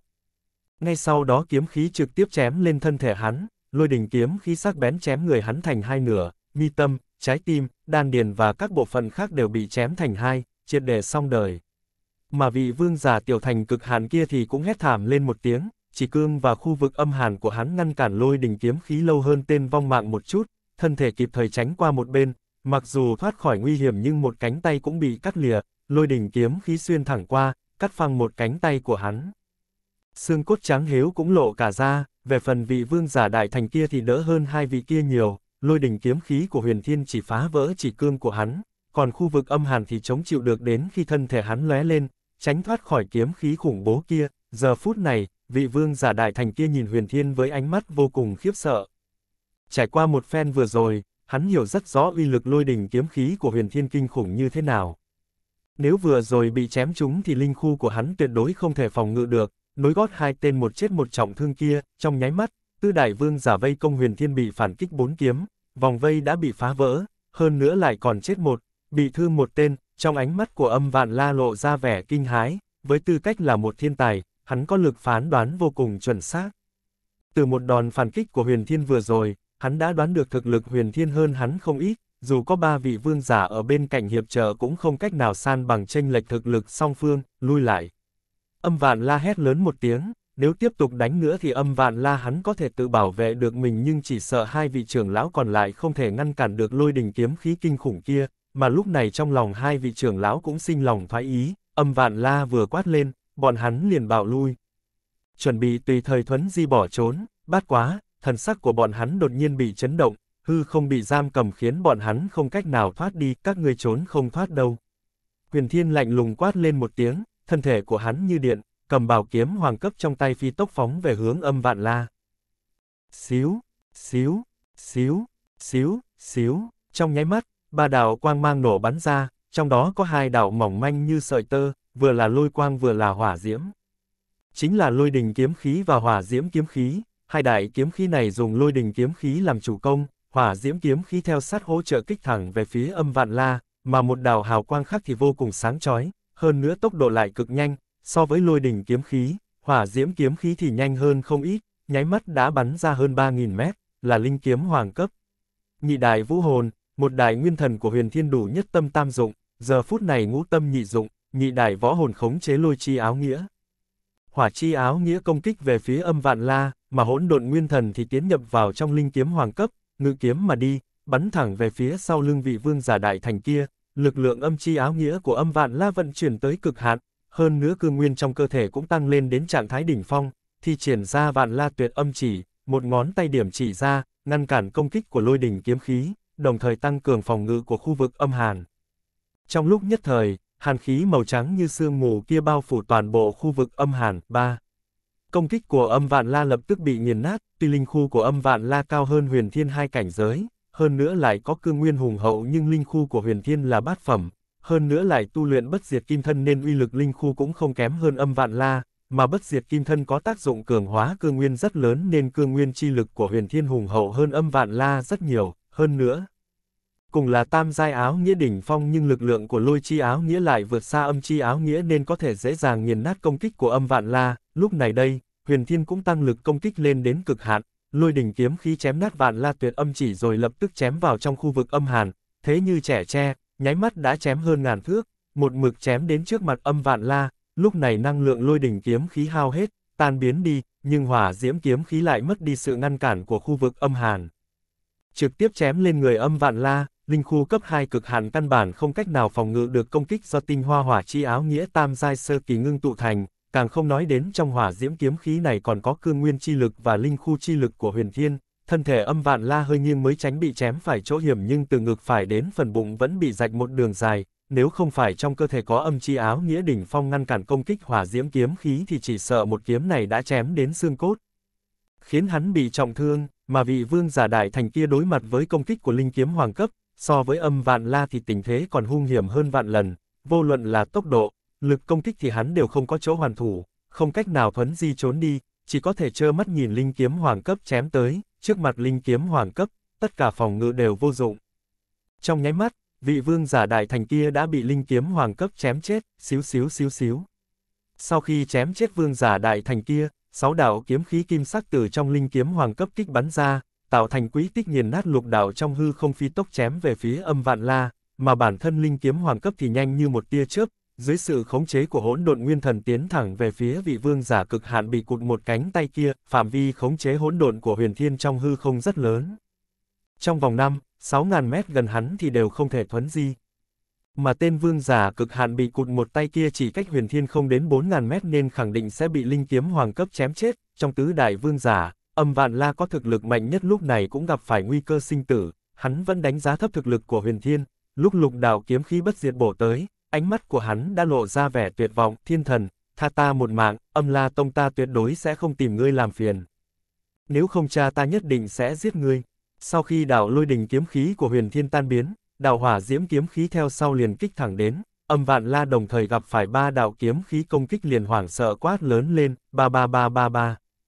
Khoan dung bất hạ thủ, hạ thủ bất dung tình, huyền thiên không ngưng tay, tam đại kiếm khí bổ tới, tất cả phòng ngự của âm van la bị phá vỡ, thân thể bị chém tám vết thương khủng bố, sâu tận xương cốt, thậm chí xương cốt cũng bị nghiền nát, nhiều chỗ hiểm đã bị cắt nát, âm vạn la lập tức vong mạng. Âm vạn la liên hợp ba vị trưởng lão âm, La Tông, tứ đại vương giả vây công huyền thiên, kết quả cuối cùng, huyền thiên không chút hao tổn mà tứ đại vương giả chết toàn bộ, huyền thiên trở thành vương giả đại thành, thực lực đột ngột tăng mạnh. Cho dù âm vạn la là thiên tài khiêu chiến vượt cấp, vương giả đỉnh tiêm cũng không phải là đối thủ của hắn nhưng dưới kiếm của huyền thiên cũng chỉ có một con đường chết, giam cầm hư không là uy hiếp lớn nhất với vương giả. Dưới tình huống bình thường, vương giả đại chiến có thể dễ dàng phân ra thắng bại nhưng rất khó phân sinh tử, đối với vương giả có thể thuấn di mà nói thì muốn chạy trốn bảo mệnh không phải là vấn đề gì khó, thế nhưng trong hư không giam cầm của hỗn độn thánh đỉnh thì tất cả đều do một tay huyền thiên định đoạt. Chỉ cần huyền thiên không muốn hắn đào tẩu thì đối phương cơ bản không thể đào tẩu, liên thủ vây công huyền thiên nhưng thất bại và cùng chết, cái này cũng đều có liên hệ với nhau, tuy âm vạn la tự tin hắn không kém gì huyền thiên nhưng hắn cũng đã dự tình tới tình huống xấu nhất đối với chiến lực của huyền thiên, nhưng hắn như thế nào cũng không chuẩn bị cho trường hợp xấu nhất, ngay cả một chút cơ hội chạy trốn cũng không có.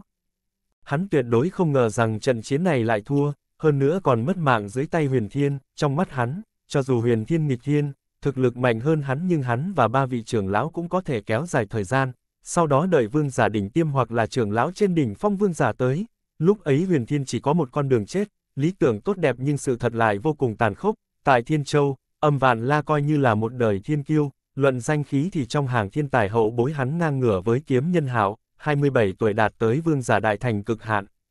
Ngoại trừ chiến lực kém ngũ đại yêu nghiệt biến thái Trung Châu nhưng ở tuổi này có được tu vi như hắn đã ở hàng ngũ cao cường, tuy là vì kỳ ngộ long mạch mới đạt tới cấp độ này nhưng số mệnh thiên địa, nồng độ linh khí thiên châu lại thua xa Trung Châu, có thể đi đến bước này đã là vô cùng không dễ dàng. Dưới vương giả, trước 20 tuổi là thời kỳ hoàng kim để tu luyện.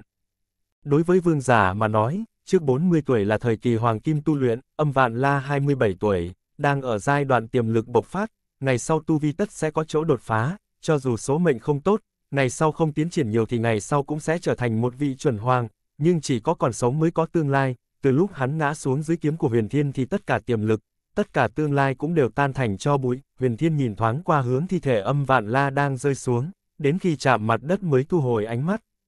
Nhìn về phía xa xa, thời gian hắn phản kích giết chết tứ đại vương giả cũng không dài nên viện thủ âm La Tông vẫn còn chưa tới, trong nháy mắt sau đó, thân thể huyền thiên đã biến mất không thấy gì nữa, dùng thuấn di xuất hiện hơn 500 dặm ở bên ngoài, rất nhanh đã biến mất trên bầu trời ở một chấn nhỏ phụ cận, trên đường đi từ Thần Châu đến Trung Châu, huyền thiên cũng đã chém giết không ít thiên tài nhưng không có người nào vượt qua âm vạn la, tin tức đệ nhất nhân hậu bối tả phái âm vạn la bị chém chết truyền ra thiên châu không biết sẽ oanh động như thế nào. Vô luận là tà phái hay là chính đạo đều sẽ bị rung động, mà cái tên thiên thần này sẽ nhanh chóng lan truyền ra toàn bộ thiên châu nhanh như lửa cháy trên đồng cỏ khô, không lâu sau, vương giả đỉnh tiêm âm La Tông đã đến, nhưng chỉ nhìn thấy bốn cỗ thi thể. Hắn bước tới trước thi thể âm vạn la, ngửa mặt lên trời rít gào bi thảm, hắn chính là thân đệ đệ âm liên tinh, thúc thúc âm vạn la. Âm vạn la là hy vọng của âm La Tông, tiền đồ sáng lạn, giờ khắc này, trong lòng hắn đang nhỏ máu, đối với huyền thiên, hắn sinh ra cửu hận thấu xương, đồng thời hắn cũng nghĩ lại vì đánh chết huyền thiên mà lại gây nên hậu quả này, đến tột cùng là đúng hay sai. Tin tức âm vạn la chết nhanh chóng được lan truyền, thiên châu đại địa giống như có xét đánh giữa trời quang, âm vạn la chết trong tay huyền thiên. Một đời thiên kiêu kết thúc, uy danh một đời thiên kiêu khác lại nổi lên, danh tiếng, thiên thần, tăng cao, đã vượt qua kiếm nhân hảo, trở thành nhân vật nghị luận số một tại thiên châu, vô luận là chính đạo, tà phái hay yêu tộc biến hóa đều muốn huyền thiên trở thành đệ nhất nhân hậu bối thiên châu. Ngoại trừ tu vi còn kém hơn kiếm nhân hạo nhưng chiến lược lại hoàn toàn vượt qua, kiếm gia ta muốn bế quan một năm. Sau khi nghe tin tức âm vạn la bị giết, kiếm nhân hạo lập tức đưa ra quyết định, ngươi nên cố gắng, kiếm gia ta là đệ nhất thế lực tại Thiên Châu, ngươi là đệ nhất nhân hậu bối Thiên Châu. Vô luận điểm nào cũng không thể để người khác vượt qua. Kiếm thượng tiệm nói ra, kiếm nhân hạo nói, ta muốn vào vạn yêu động, bế quan một năm trong đó, cái gì? Bế quan một năm trong vạn yêu động, ngươi sẽ phải chịu thống khổ không giống bình thường, bị tra tấn suốt một năm. Kiếm thượng tiệm cả kinh, kiếm thượng tiệm thập phần đồng ý kiếm nhân hảo bế quan tu luyện nhưng vừa nghe nói muốn bế quan trong vạn yêu động thì lại vô cùng khiếp sợ. Có thể nhìn ra vạn yêu động kia là một nơi vô cùng hung hiểm, vạn yêu động, nghe tên thì có vẻ như là một sơn động nhưng thực tế lại là một không gian hoàn toàn khác, kiếm ra từng có một hò ăn giả dùng số lượng rất lớn ra của chuẩn yêu hoàng luyện chế ra một bảo khí không gian cực lớn, đó chính là vạn yêu động, trong phạm vi mấy trăm dặm vạn yêu động là phần đông yêu thú do kiếm gia nuôi dưỡng, có lẽ do mỗi đời cường giả kiếm gia có lẽ đều không tiêu diệt yêu vương trong vạn yêu động nên yêu thú bên trong cứ tự nhiên sinh sôi nảy nở. Vì thế mà trong không gian mấy trăm dặm yêu vương lại nhiều vô số kể, vị hoàng giả kiếm gia kia đặt vạn yêu động tại một nơi linh khí cực kỳ nồng đậm, tầm bổ yêu thú. Biến vạn yêu động thành một sân thí luyện cho đại vương giả kiếm gia, bởi vì phần đông yêu thú thì yêu vương chiếm tuyệt đại đa số, võ giả vừa tiến vào sẽ lập tức bị phần đông yêu vương công kích, có thể nói là không ngừng chiến đấu. Kiếm gia vương giả bị trọng thương ở bên trong, vạn yêu động sẽ không có chút trợ giúp nào. Chỉ khi tính mạng gặp nguy hiểm thì vạn yêu động mới bộc phát ra lực lượng cứu thoát khỏi đám yêu thú, kiếm gia vương giả tiến vào vạn yêu động rèn luyện, bình thường thì khoảng 1-2 canh giờ hoặc là 3-4 canh giờ, dài nhất cũng không quá 3 ngày, mà kiếm nhân hảo lại muốn vào đó bế quan một năm, chiến đấu với yêu vương, khẳng định không tránh được giết chóc, bị thương, có thể nghĩ sẽ chịu phải thống khổ như thế nào, trong lúc tin tức âm vạn la tử vong đang náo loạn thiên châu thì huyền thiên cũng đang ẩn cư trong một ngọn núi thanh tú ở bàn dương quận. Phụ cận bàn long quận, tuy vương giả tinh thông thuật truy tung có thể truy xét dấu vết trong hư không nhưng thuấn di lại là bước nhảy không gian, chỉ để lại một điểm dấu vết, mà lại là thập phần yếu ớt, rất khó phát giác được, cho dù cảm thấy được một dấu vết thì cũng khó có thể tìm ra điểm tiếp theo, một cái chớp mắt không phải hơn 10 dặm mà là hơn 100 dặm. Vương giả lại có thể thuấn di liên tục vô số lần, một ngày đi hơn 100 vạn dặm. Nếu như tìm từng điểm một thì dù mất vài năm cũng khó mà tìm ra được khoảng cách 10 vạn dặm, cho nên một khi Vương Giả Thuấn di cự ly xa thì không thể nào tìm được nơi hạ lạc. Huyền Thiên Thuấn di ra ngoài trọn vẹn hơn 400 trăm vạn dặm, xuyên qua ba quận, đi tới ẩn cư tại bản Dương quận phía nam bản Long quận. Trên đường đi hắn cố ý chọn ít nơi không người hành tẩu. Nếu có người truy tung tung tích của hắn, không có vài năm thì đừng đừng mơ tưởng từ Đông Lâm quận tìm đến được bản Dương quận, cho nên Huyền Thiên có thể yên tâm ở lại đây, toàn tâm toàn ý nhắm mắt tu luyện, mỗi ngày Huyền Thiên đều luyện hóa yêu hạch tam nhãn viêm sư, không chỉ tu luyện nhãn thần mà Huyền Thiên cũng dần dần hấp thu năng lượng hỏa hệ bên trong yêu hạch, chuyển hóa thành cương nguyên, ngoài trừ luyện hóa yêu hạch, mỗi ngày Huyền Thiên còn tu luyện cứu cực dẫn tinh quyết, cảm ứng ra thái dương tinh, cực điện tinh, cự thổ tinh, đồng thời tìm hiểu tam đại áo nghĩa hỏa, lôi, thổ, hơn nữa, mỗi ngày còn phân chia một canh giờ phóng xuất hỗn độn thánh đỉnh, tìm hiểu hỗn độn áo nghĩa, muốn bảo trì chiến lực cường đại thì nhất định phải lĩnh ngộ áo nghĩa, phát triển toàn bộ phương vị, thời gian trôi qua, trong nháy mắt, 10 ngày đã trôi qua, trong gần nửa tháng này. Huyền Thiên đã luyện hóa hơn 100 khỏa yêu hạch tam nhãn viêm sư không còn một mảnh, mà tu luyện địa địa nhãn thần đồng cũng rất có hiệu quả, bất quá, vẫn còn kém viên mãn một chút. Thời gian huyền thiên luyện hóa yêu thuật đều dùng để tu luyện cứu cực dẫn tinh quyết, nửa tháng nữa lại nhanh chóng trôi qua, ẩn cư tại bàn dương quận chừng một tháng, rốt cục huyền thiên đã tu luyện địa địa nhãn thần đồng đến cấp độ viên mãn. Hiện tại địa địa nhãn thần đồng là công pháp vương cấp đỉnh tiêm, võ học phía dưới hoàng cấp hắn đều có thể nhìn thấy được hư thật. Vận dụng trong chiến đấu thì so với địa địa nhãn thần đồng trước kia có hiệu quả còn lớn hơn, đến lúc đi tủ Long Sơn rồi. Huyền Thiên đứng trên đỉnh núi, nhìn về phía bàn Long quận, thầm nghĩ, Hoàng đạo Thiên Nhãn, ta đến rồi. Giữa trưa, Huyền Thiên từ bàn Dương quận xuất phát, sáng sớm ngày thứ hai đã đến cảnh nội bàn Long quận, từ khi tiến vào bàn Long quận, đất bằng càng ngày càng ít, từ đầu đến cuối đều là sơn mạch không ngớt không dứt, ngắn thì trên 100 dặm, dài thì trên 10 vạn dặm, sơn mạch răng khắp nơi. Chỉnh thể như một vòng xoáy cường tráng vây lại một chỗ, từ trên không trung nhìn xuống thì quả thật giống như tên gọi, bàn long. Huyền Thiên tiến vào bàn long quận liền một đường thuấn di, trực tiếp tiến về phía vị trí trung ương Tù Long Sơn, đến Tù Long Sơn, Huyền Thiên hỏi thăm một chút tin tức, biết rõ nơi này là cấm địa, người đi vào đều không trở ra được, nhưng hắn có thượng cổ kiếm hoàng nhắc nhở, tu luyện địa nhãn thần đồng đến viên mãn liền có thể tiến vào Tù Long Sơn, đạt được truyền thừa hoàng đạo thiên nhãn. Thế nên hắn cũng không quan tâm cái gì gọi là cấm địa, bản long quận không lớn, phạm vi chỉ 6, 70 vạn dặm.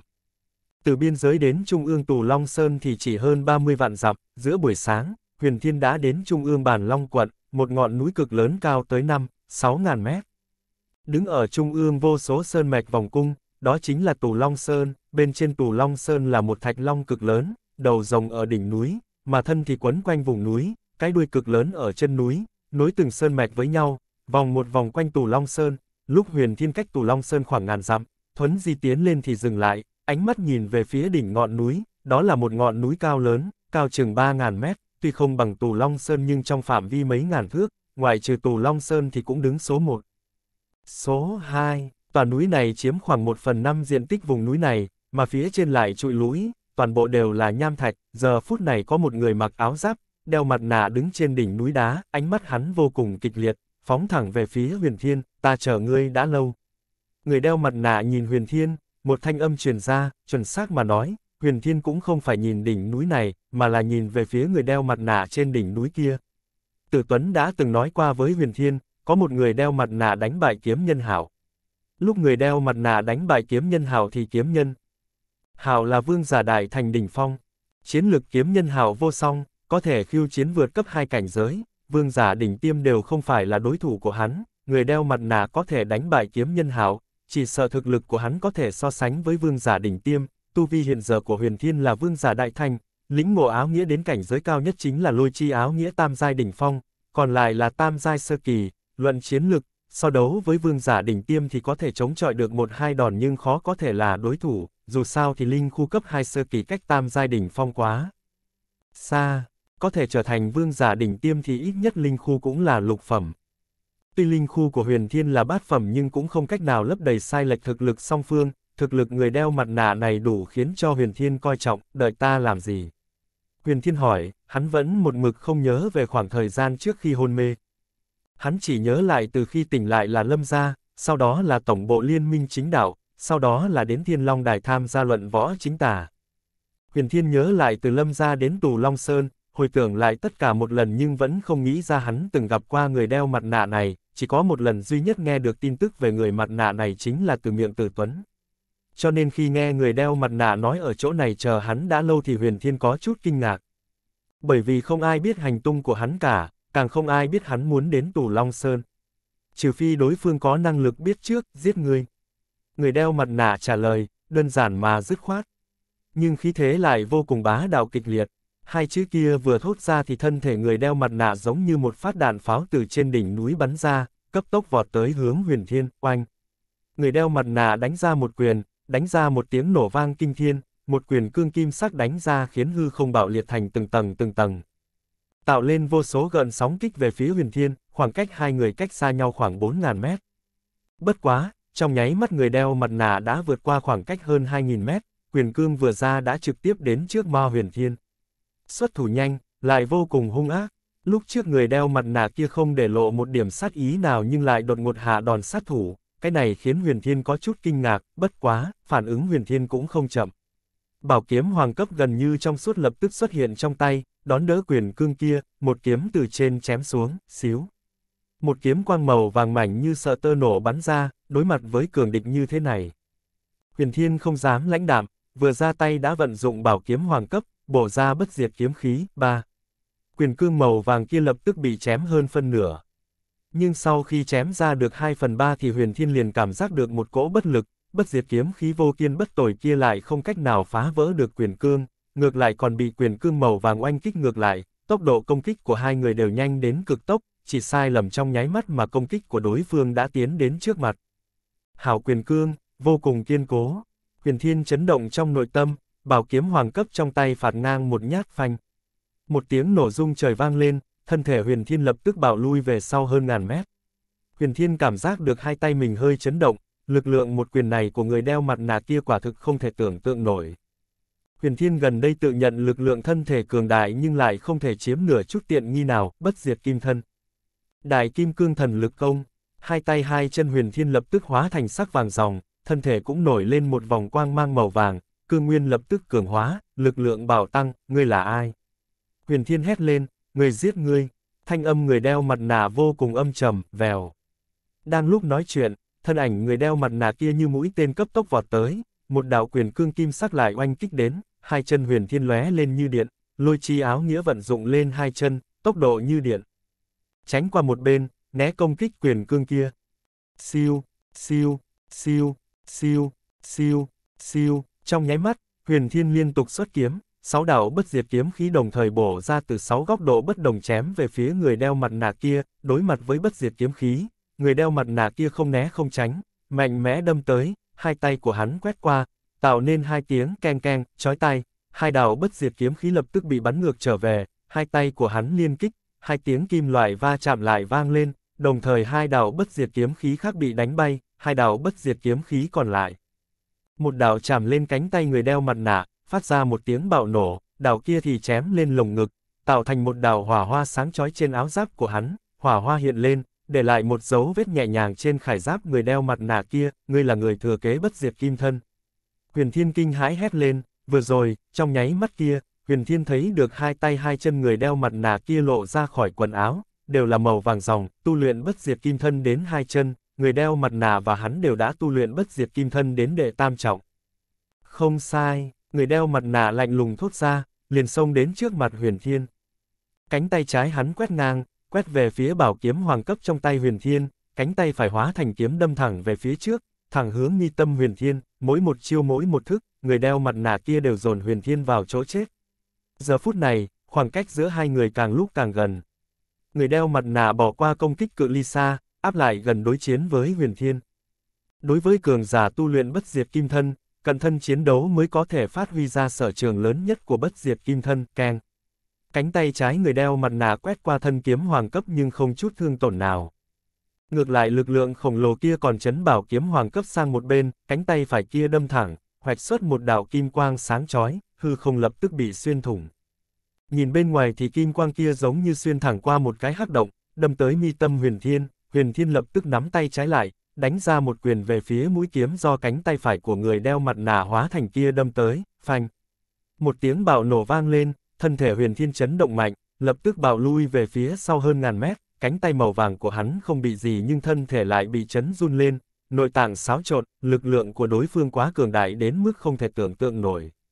Huyền thiên tu luyện bất diệt kim thân, cương nguyên cường hóa, lại là bát phẩm linh khu, vô luận là trình độ chắc chắn của thân thể hay là lực lượng cương nguyên. So với những võ giả khác thì huyền thiên đều chiếm ưu thế lớn, nhưng giờ phút này, nhục thể của hắn lại lâm vào hoàn cảnh xấu, người đeo mặt nạ cũng tu luyện bất diệt kim thân, đồng dạng tu luyện đến đệ tam trọng, hơn nữa tu vi còn rất cao, tạo nghệ bất diệt kim thân rất cao, luận trình độ cương nguyên hùng hậu thì huyền thiên kém hơn không ít, hai người tu luyện bất diệt kim thân, chỉ kém vẻn vẹn một cảnh giới, khoảng cách không quá xa, tranh lệch lớn nhất chính là uy lực linh khu, huyền thiên có thể cảm nhận được linh khu chi lực của đối phương hơn xa mình. Tuyệt không chỉ hơn một cảnh giới. Tu vi người đeo mặt nạ là vương giả đại thành đỉnh phong, quả thật chỉ hơn hắn một cảnh giới. Như vậy chỉ còn một khả năng, chính là phẩm chất linh khu cao hơn hắn, linh khu huyền thiên đã là bát phẩm, nếu hướng lên trên thì chỉ có thể là cửu phẩm linh khu rồi. Cửu phẩm linh khu, đây chính là tư chất đế giả, tương lai tất thành đế giả. Hơn nữa còn có tư cách trùng kích thần cảnh. Tại thiên châu này, lục phẩm linh khu trên cơ bản là tư chất cao nhất rồi. Một ít thiên tài yêu nghiệt đỉnh tiêm đều là lục phẩm linh khu, mà người mặt nạ này lại là cửu phẩm linh khu, cái này quả thực là một kỳ tích tại Thiên Châu, thân thể người đeo mặt nạ kia như ảnh tùy hình, lập tức xông về phía trước, thân thể bốc lên, chân phải thuận thế xuất ra một cước, phanh.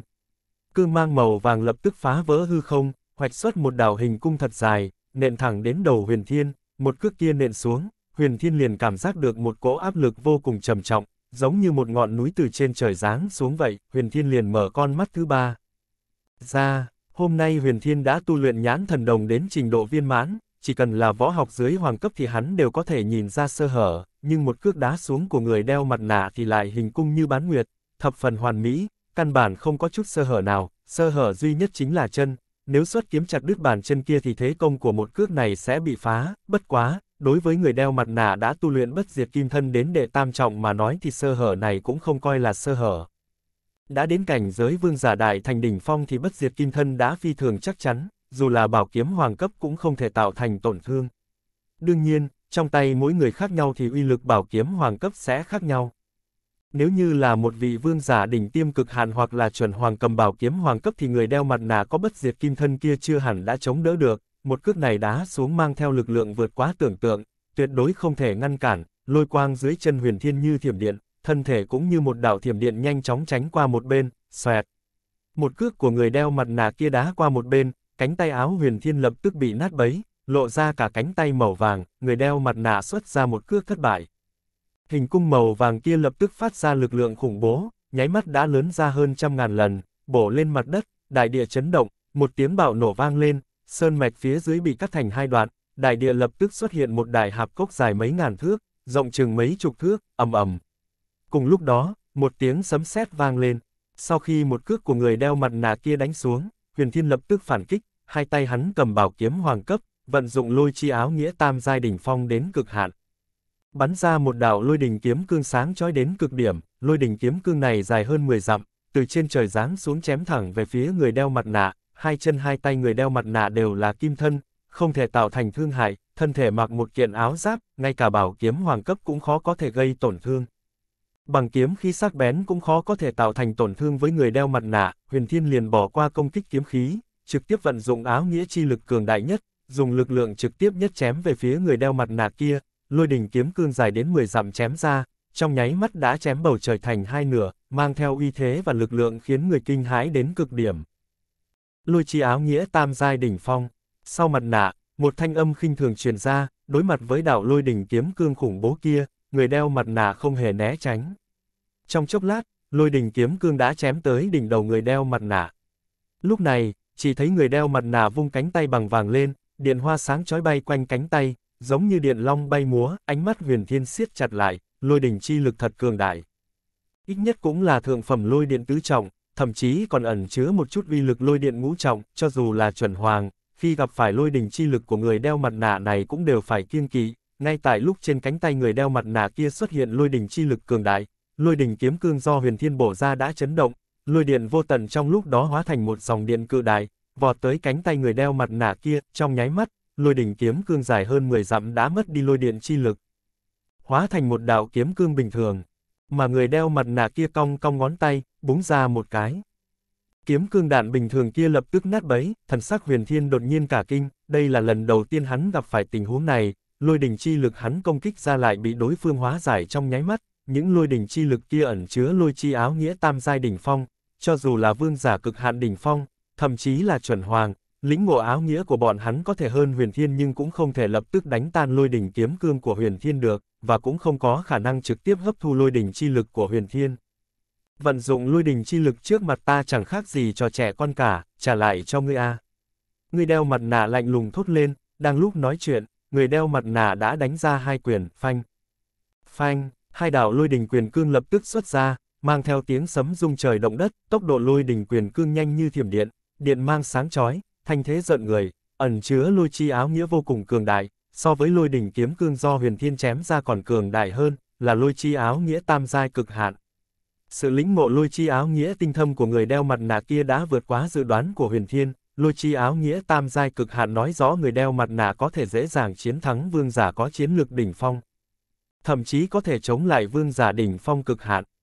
Vương giả đỉnh tiêm cực hạn chính là đỉnh phong trong vương phẩm, nhân vật cấp gia chủ trưởng giáo, nguyên một đám đều vô cùng mạnh mẽ, thực lực cường đại, mà thực lực người đeo mặt nạ trước mặt này lại có thể chống lại những gia chủ trưởng giáo thế lực vương phẩm đỉnh tiêm, có thể nghĩ chiến lực của hắn cường đại cỡ nào, ngay cả khi khiêu chiến vượt cấp 3 cảnh giới thì cũng không có chút khó khăn, năng lực khiêu chiến vượt cấp của hắn so với huyền thiên thì chỉ có hơn chứ không kém, thực lực huyền thiên bây giờ. Tối đa cũng chỉ có thể chống lại vương giả đỉnh tiêm đỉnh phong mà thôi. Mà người đeo mặt nạ kia lại có thể dễ dàng chiến thắng vương giả đỉnh tiêm đỉnh phong, có thể thấy tranh lệch thực lực song phương khá xa. Bất quá, dù thực lực chênh lệch xa nhưng đối với huyền thiên mà nói thì chưa hẳn không có lực đánh một trận, chỗ lợi hại của người đeo mặt nạ chính là hắn đã lĩnh ngộ lôi chi áo nghĩa đến cường độ tam giai cực hạn, mà huyền thiên đồng dạng với người đeo mặt nạ kia, căn bản không sợ công kích lôi đỉnh chi lực, huyền thiên không biết trên người người đeo mặt nạ kia có cái gì có thể hấp thu lôi đỉnh chi lực nhưng hắn thì có ngự lôi châu. Chỉ cần lôi điện dưới thất trọng thần lôi thì không thể tạo thành tổn thương với hắn, huyền thiên cũng không né tránh hai đạo công kích lôi đỉnh quyền cương kia, trên thực tế, lôi đỉnh quyền cương tới cực nhanh, hắn muốn tránh cũng không tránh được, chỉ vẻn vẹn làm một tư thế phòng ngự, phanh. Phanh, hai đạo lôi đỉnh quyền cương lập tức đánh trúng huyền thiên, lực lượng khủng bố từ hai đạo lôi đỉnh quyền cương kia truyền tới, thân thể huyền thiên như một phát đạn pháo bay lui về phía sau hơn ngàn mét, bất quá, hai quyền lôi đỉnh quyền cương kia lập tức tán loạn, lôi đỉnh chi lực cũng biến mất không còn chút gì, lôi đỉnh chi lực bị ngự lôi châu hấp thu nhưng thực lực người đeo mặt nạ kia vô cùng cường đại, trong quyền cương còn có cương nguyên chi lực, linh khu chi lực mà ngự lôi châu không thể hấp thu được nên huyền thiên mới bị đánh bay ra hơn ngàn mét. Ân, người đeo mặt nạ phát ra một thanh âm kinh hãi, nói, ngươi cũng có thể hấp thu lôi đỉnh chi lực. Ta thật sự muốn nhìn đến tột cùng trên người ngươi có đồ vật gì. Đang lúc nói chuyện, thân ảnh của người đeo mặt nạ như ảnh tùy hình, công kích về phía huyền thiên, ba. Cánh tay màu vàng của hắn đảo qua hư không, một tiếng bạo nổ liền phát ra, một mảng lớn không gian liền bị hắn đập bảo, bàn tay màu vàng liền đập đến trước mặt huyền thiên, huyền thiên liền huy trưởng ngăn cản, hai trường giao kích nhau, ngũ tạng trong cơ thể huyền thiên lại xáo trộn, thân thể lại bị đánh bay, ba. Người đeo mặt nạ vọt tới hướng huyền thiên, đánh ra một cùi trỏ, một đoàn cương mang màu vàng sáng chói lập tức phá vỡ hư không. Cùi trỏ của hắn hoạch xuất một đường cong hoàn mỹ trong hư không. Mà nhãn thần đồng của huyền thiên hoàn toàn không nhìn ra chút sơ hở nào, tuy công kích của người đeo mặt nạ đơn giản nhưng lại trực tiếp, vô cùng huyền ảo. Có thể là võ học hoàng cấp, nếu không thì không có khả năng nhãn thần đồng không nhìn ra bất cứ sơ hở gì, nhất là một cùi trò này lại mang theo đạo ý thập phần sâu xa, hoạch xuất một đường cong cao thâm mạc chắc trong hư không. Tuy không phải là thẳng tắp nhưng tốc độ lại tựa hồ nhanh hơn một ít, huyền thiên rõ ràng đã ngăn cản một quyền nhưng vẫn thất bại, khuỷu tay kia mang theo cương mang màu vàng sáng chói lóe lên bên cạnh nắm đấm huyền thiên, kích thẳng đến lồng ngực huyền thiên, thân thể huyền thiên không có áo giáp phòng hộ như người đeo mặt nạ kia, mà lực lượng một trò này vô cùng khủng bố, nếu bị đánh trúng thì chỉ sợ lục phủ ngũ tạng sẽ bị chấn nát, tại thời khắc mấu chốt, thân thể huyền thiên nổi lên một mảnh hỗn độn chi quang. Ngay lúc đó, hỗn độn thánh đỉnh trong cơ thể hắn vọt ra, phòng hộ thân thể hắn keng. Một tiếng nổ rung trời vang lên, một trò kia của người đeo mặt nạ va chạm với hỗn độn thánh đỉnh. Hỗn độn thánh đỉnh liền bị chấn động mạnh, lập tức bị bắn ra bên ngoài vài trăm mét, ngay cả hỗn độn thánh đỉnh cũng bị đánh bay, có thể tưởng tượng lực lượng khuỷu tay của người đeo mặt nạ kia kinh khủng bực nào, bất quá, Lực lượng có khủng bố như thế nào đi nữa thì cũng không có khả năng phá hư hỗn độn thánh đỉnh. Từ thánh đỉnh, Huyền Thiên cảm nhận được lực lượng một kích kia của người đeo mặt nạ. Hắn biết rõ thực lực của mình kém xa đối phương. Hết tập 67